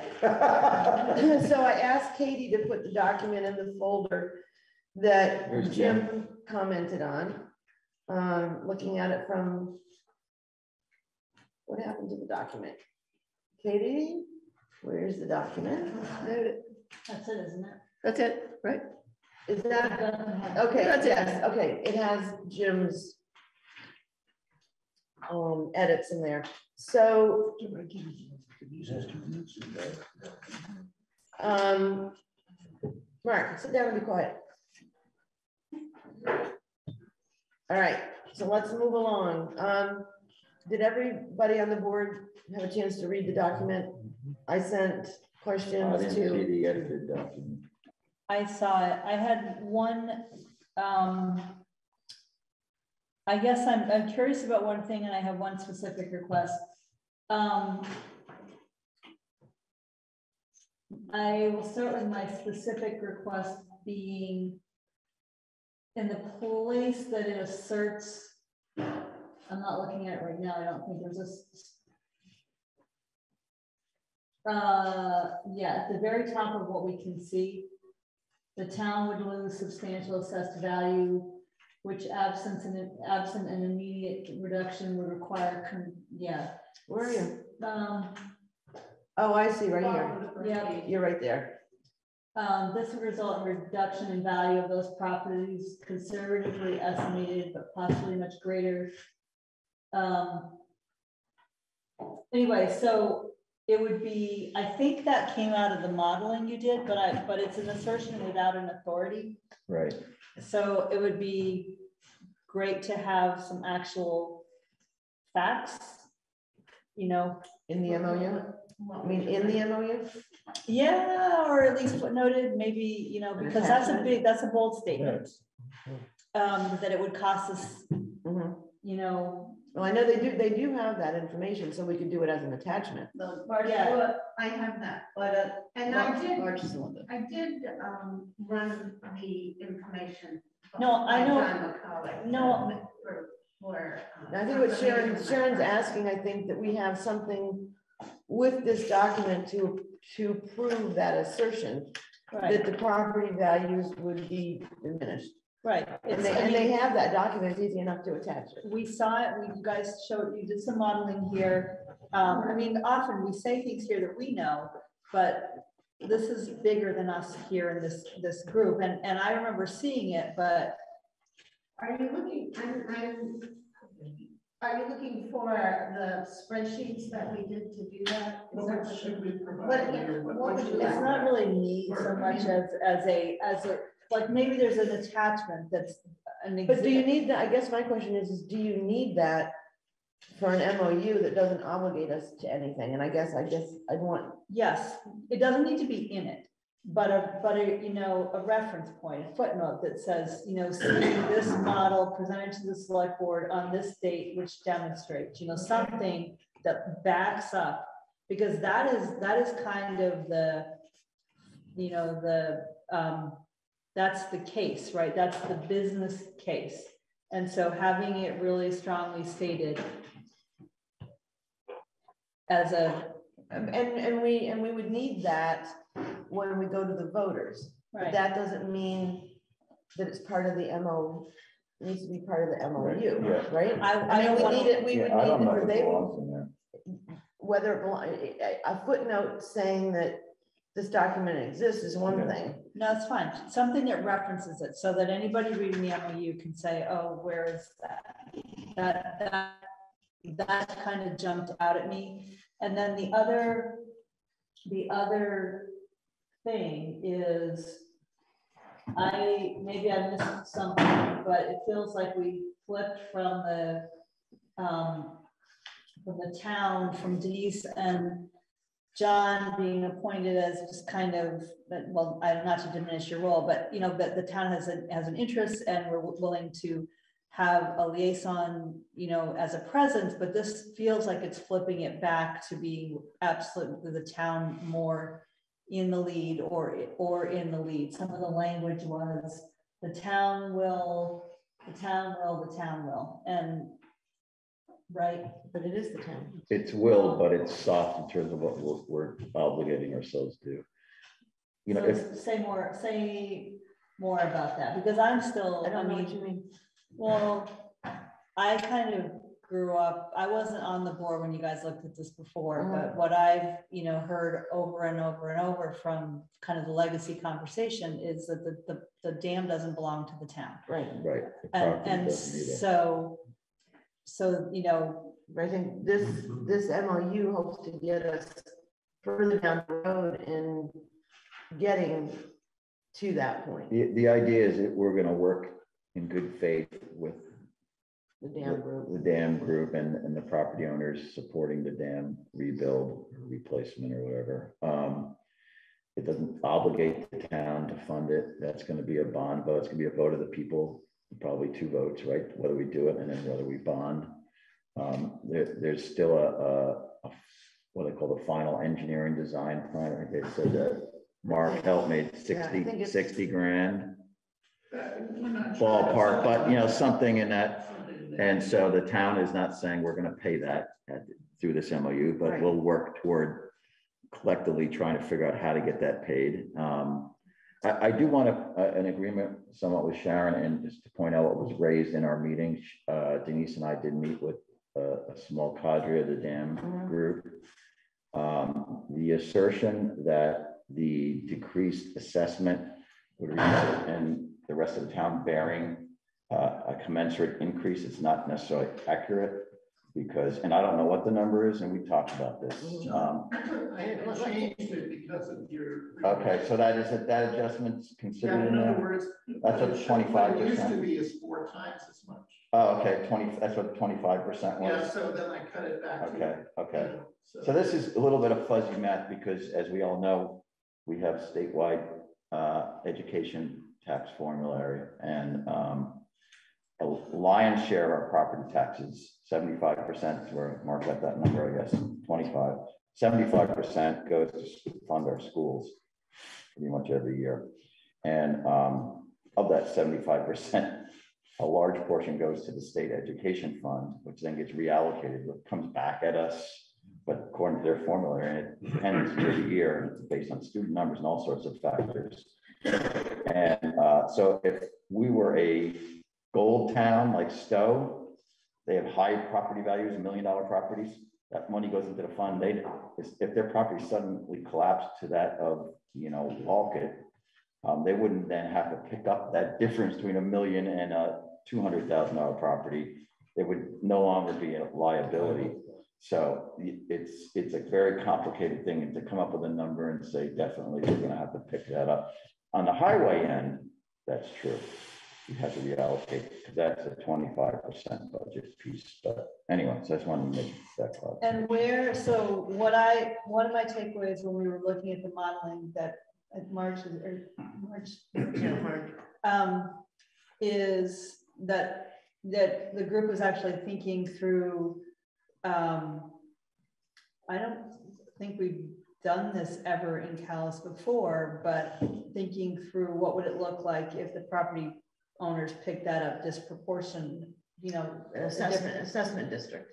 uh, an assessment district and, and there's nothing, I'm not sure when that would come, when that sort of piece would kind of hit the stride of the project. I'm gathering it's premature, but I want to make sure that we don't lose that concept. No, that's definitely part of what I read in here. Okay. It was part of an assessment district.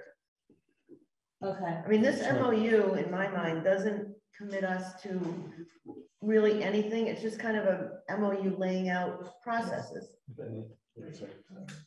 that we're gonna move forward, good because this thing's been languishing. Yeah, right, The idea is the recognition has been languishing, right, it's been on the and, and it's, and we all need to, what? two thousand four. two thousand four, and that we're gonna revive it, and we, the interest has been revived, and the select board's interested as well, and that's. Right, and we finally have a group that is willing to step up, and not just leave it to the select board to take care of recognizing the problems associated with the cost of something like this.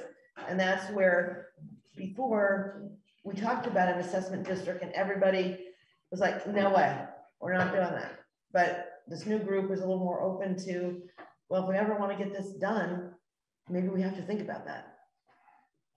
So, um, I didn't know, if- uh, Rick, if you have any comments, Jim's here if he wants to weigh in as our town attorney. I mean, my comments are I- again, I'm, I'm concerned in fairness to the testimony, I like the idea of an assessment district.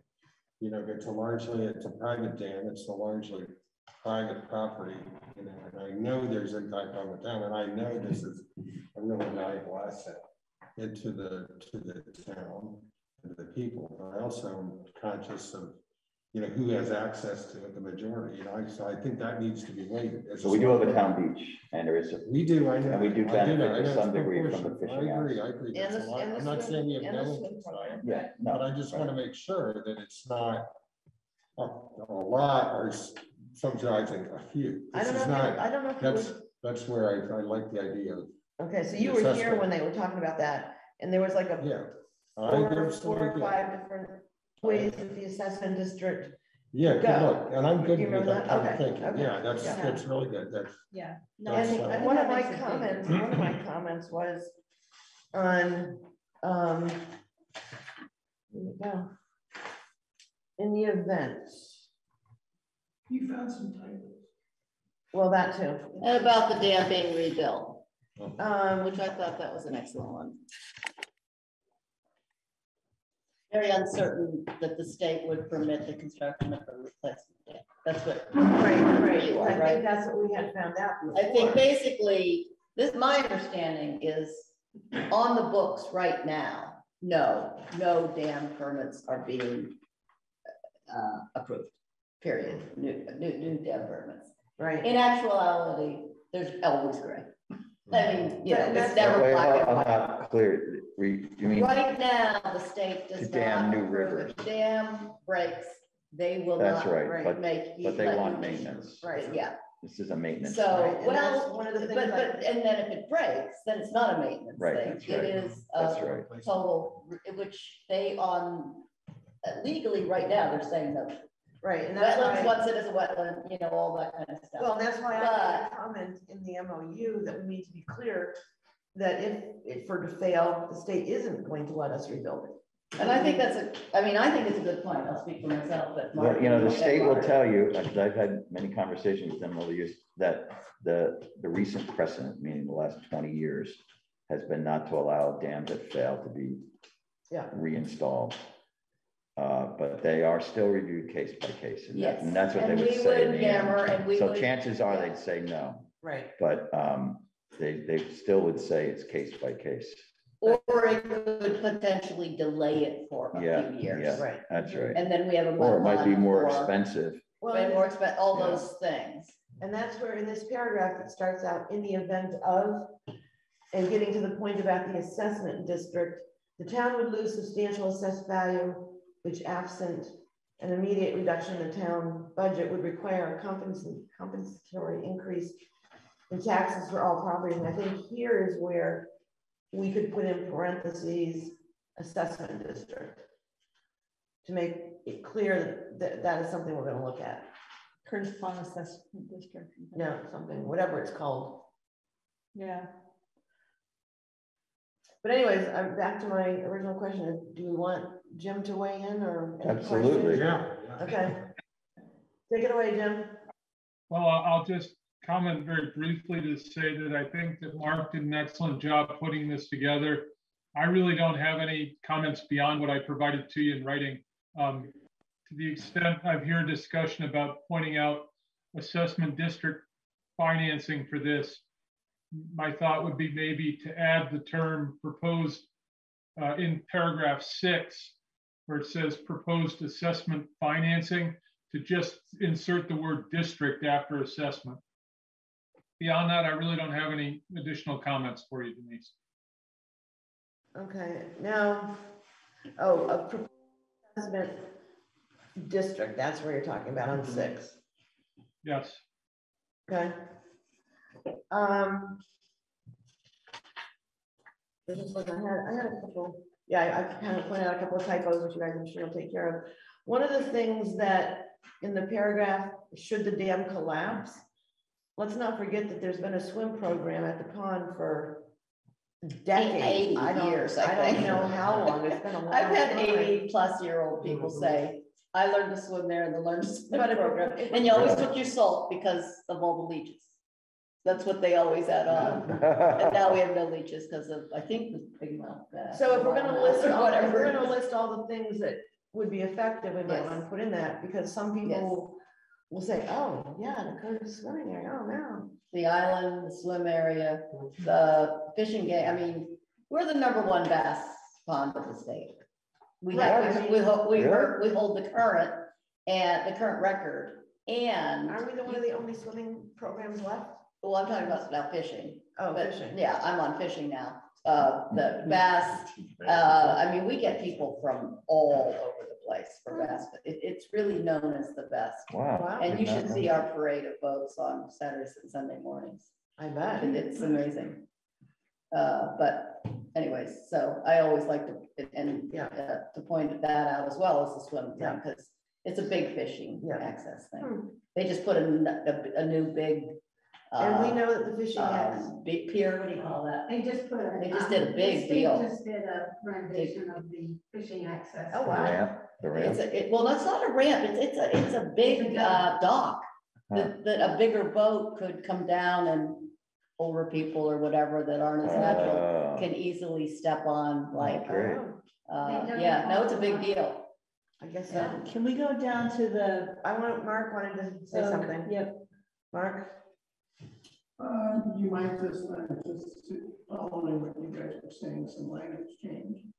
You might put in, in the paragraph, that's the second paragraph, the second. Boat launch made by the state of Vermont may become inoperable, and then put comma, and the long-standing swim, swim, uh, Calais swim program. Yeah, I'm assuming you guys are gonna make these changes that we're talking about. The long-standing Calais swim program would cease to exist. Mhm. Um, So can I ask a question? Are you wordsmith, Mark, are you literally, yeah, okay. Um, and one of my questions was on this agreement thing on number two. It says the dam exploratory group will assist. I thought we were saying that it's the Curtis Pond Association.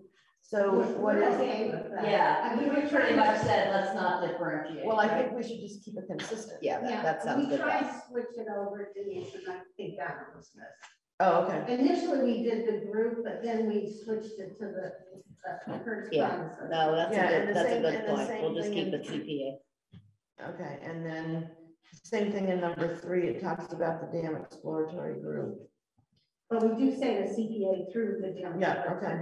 Because we didn't want to not put in the dam exploratory group, so people would say, well, what happened to that? Right, right, right. right. They sizzled. All right, that was, those were So when my we- questions and then a couple of typos that you guys talked. Um, when we say the town will explore and then the Curtis Pond Association will assist. Um. uh, is, as a practical matter, is the effort going to continue largely the way that it has? Or is there going to be a real appreciative flipping of the rules? In other words. We see it as it continuing to be on. Okay, so you guys, Yeah, so you guys will we're take. very it, right? happy to continue Yeah, and that's, and that's what they Okay. told us at our meeting. And Okay, we just, we hit dead ends again and again and again. Is this a private group or is this the town? This is the town This moving is, forward. this is making it so that they can move forward. Move forward. forward on all these attempts, grants, Right. you Okay. name it. Okay, that's fine. Yeah. And one thing, what I think we kind of need some clarification, to know, when do you guys want us, how often do you want us to report back? How- We can work through the liaisons. We You can want work- to you can work through John and I. Your liaisons, We don't want to overstep our bounds. Right, right, but we want you guys to know what we're doing. Right, but I, I think. That that- balance, but I mean. I think you guys know enough about the history, what we're looking at now, and you've been good at communicating. So I'm putting it, you know, kind of on you guys to let us know when you need to talk with us. And we're very happy to do that. And we wanted to convey our sense of urgency. Yeah. I mean, we think this big weather event is, you just had to listen to the news August and September. It's around the corner. I Yeah. don't think it's hypothetical anymore. Yeah. And it's, uh, you know, so we wanted to say, we don't want to get this through by twenty twenty-seven. We'd So are love we- to do it earlier. Are we gonna, um, mark the, the, ca- co- the pond association's gonna take the lead in, in making The changes. edits? And then next meeting we'll formally approve and sign? One option for you is up to you, of course, but one option is for you to approve the MOU with the suggested changes to move that tonight. Then what we'll do is we'll make the secretarial changes and bring it back to you. Let's ship it to And we you can just sign it next Right. time. Sign it. And we can just- Sign, you can sign We it can just, next meeting. right, we can just, you do all that kind of edit Change it. and, And what. and then we said. can just approve it and I know nothing is takes five minutes, but hopefully five minutes to approve the MOU and sign it. Well, Well, that's- either that or approve the MOU now with the understanding that you won't sign it until uh, we give you back the corrected. We could approve it with the changes. I think it's- I But, think- what- but I- we- there's some edit paragraphs. Yeah, I think, I think let's have you guys do the edit, Okay. send it back to us, just so we're, we're all sure we got all the edits we want. Yeah, if we're gonna, if we're gonna take five minutes on it, we might as well approve it next time. Yeah. Yeah. Exactly.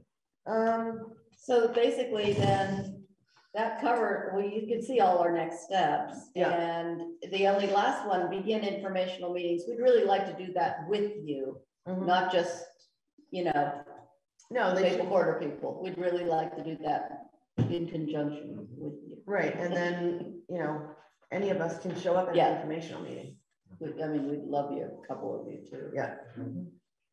Okay, does that make Cool. sense? Thank Yeah, you. that's, Thank you for waiting. And then Denise, Yeah. Denise and John, you, it's great that everybody's here, and it's also great we have Denise and John to bring us little updates as we As needed, need them. Yep. You guys don't have to always be coming out on the, especially when it gets yucky.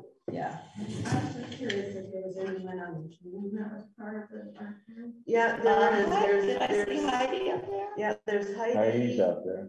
There's John Rosenblum, Jamie. there's Jamie, there's uh, Virginia Clammer, there's Bev Heiss, Oh, um, David Ellenbogen, I don't know, is he part of? yeah, he is, he's a camp. Yeah, I know he's there, but I didn't know if he was part of the group. Does anybody from the Zoom people have any comment? Okay, Just to thank you for moving forward. um, I just want to point out, we have a, a enthusiastic group, and so we don't want to get stuck with, we, if the, if we can get the MOU signed quickly, like. Yeah. Yeah. Yeah. Next meeting, You don't have need to come next meeting. Right. next meeting. and Mark will sit over there and we'll vote on it. Thank you very much. Thank Sure, you. Thank you. Thanks for putting that information together. And, and also, All right, so Jim, anything else? Cookies were great, but I wouldn't come to meetings this late. Well, they keep you up all night too. Wait, can I just want to make sure, Jim, Jim, do you have anything else? I'm good, Denise. Are you good with me? I think so, yeah. Okay, I, I'm Right, gonna leave now. Thank you for, Bye, Jim. thank you for zooming. We saved you a cookie. Bye, Have a Jim. great evening, everyone. Who's the lead on the grant thing? But it's not, we'll present it. Um, they're really, this is so old, there's none that. So can I make a motion that we approve the signing of the Adamant CLG nomination to National Historic Heritage? That's lovely, thank you. All those in favor? well, well, I don't know, if- no, it's so loud, I don't know if Katie heard I that. can't- I- is- No, I can't hear anything. I approve the signing of the Adamant CLG nomination to the National Historic Register. Thank you. A second was by Rick. Actually, I think it was Mark. It was, it doesn't matter. It doesn't matter. And we all said aye. Aye. Aye. Aye, I don't. Okay, so we approved this. I read all the minutes, I think, today. Yep, okay, good. I'll make the motion that we approve the minutes with all the Wait. changes. No, no, no, wait, wait, wait. Sorry.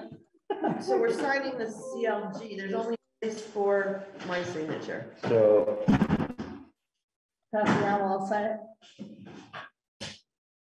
Somebody want to authorize me to sign it? sure. The motion includes an authorization, needs to sign it? Okay, done. Next, next up. There's not, today's nothing. Today's the twenty-fifth. You know what, I think, by the way, I think I want to do just, just one item. I'm gonna take this MOU and put everything in it that I thought everybody wanted and all the corrections. Right. And I'm gonna send it to you guys, mm-hmm. That's fine. but wait, Oh, wait, they all have to sign. So what I want to do is get you guys back, like, no, I didn't say that, or. Right, Or get us to whatever. bless it. Then, and so that's- just tell me it's okay, then I will cut it off, get all or it of be, the- them, or it could be the other way around. them to sign it. Well, do you want to No, sign? well, but uh, what You you're want saying them to is sign we're- it first, don't you? No, well, but I think what you're saying is we're gonna be more picky.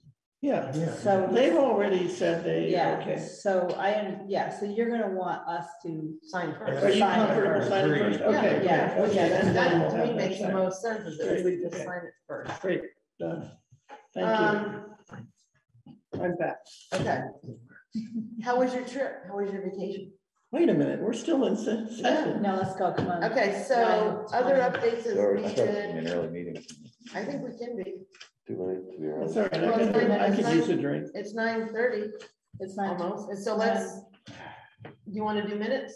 We are, yeah.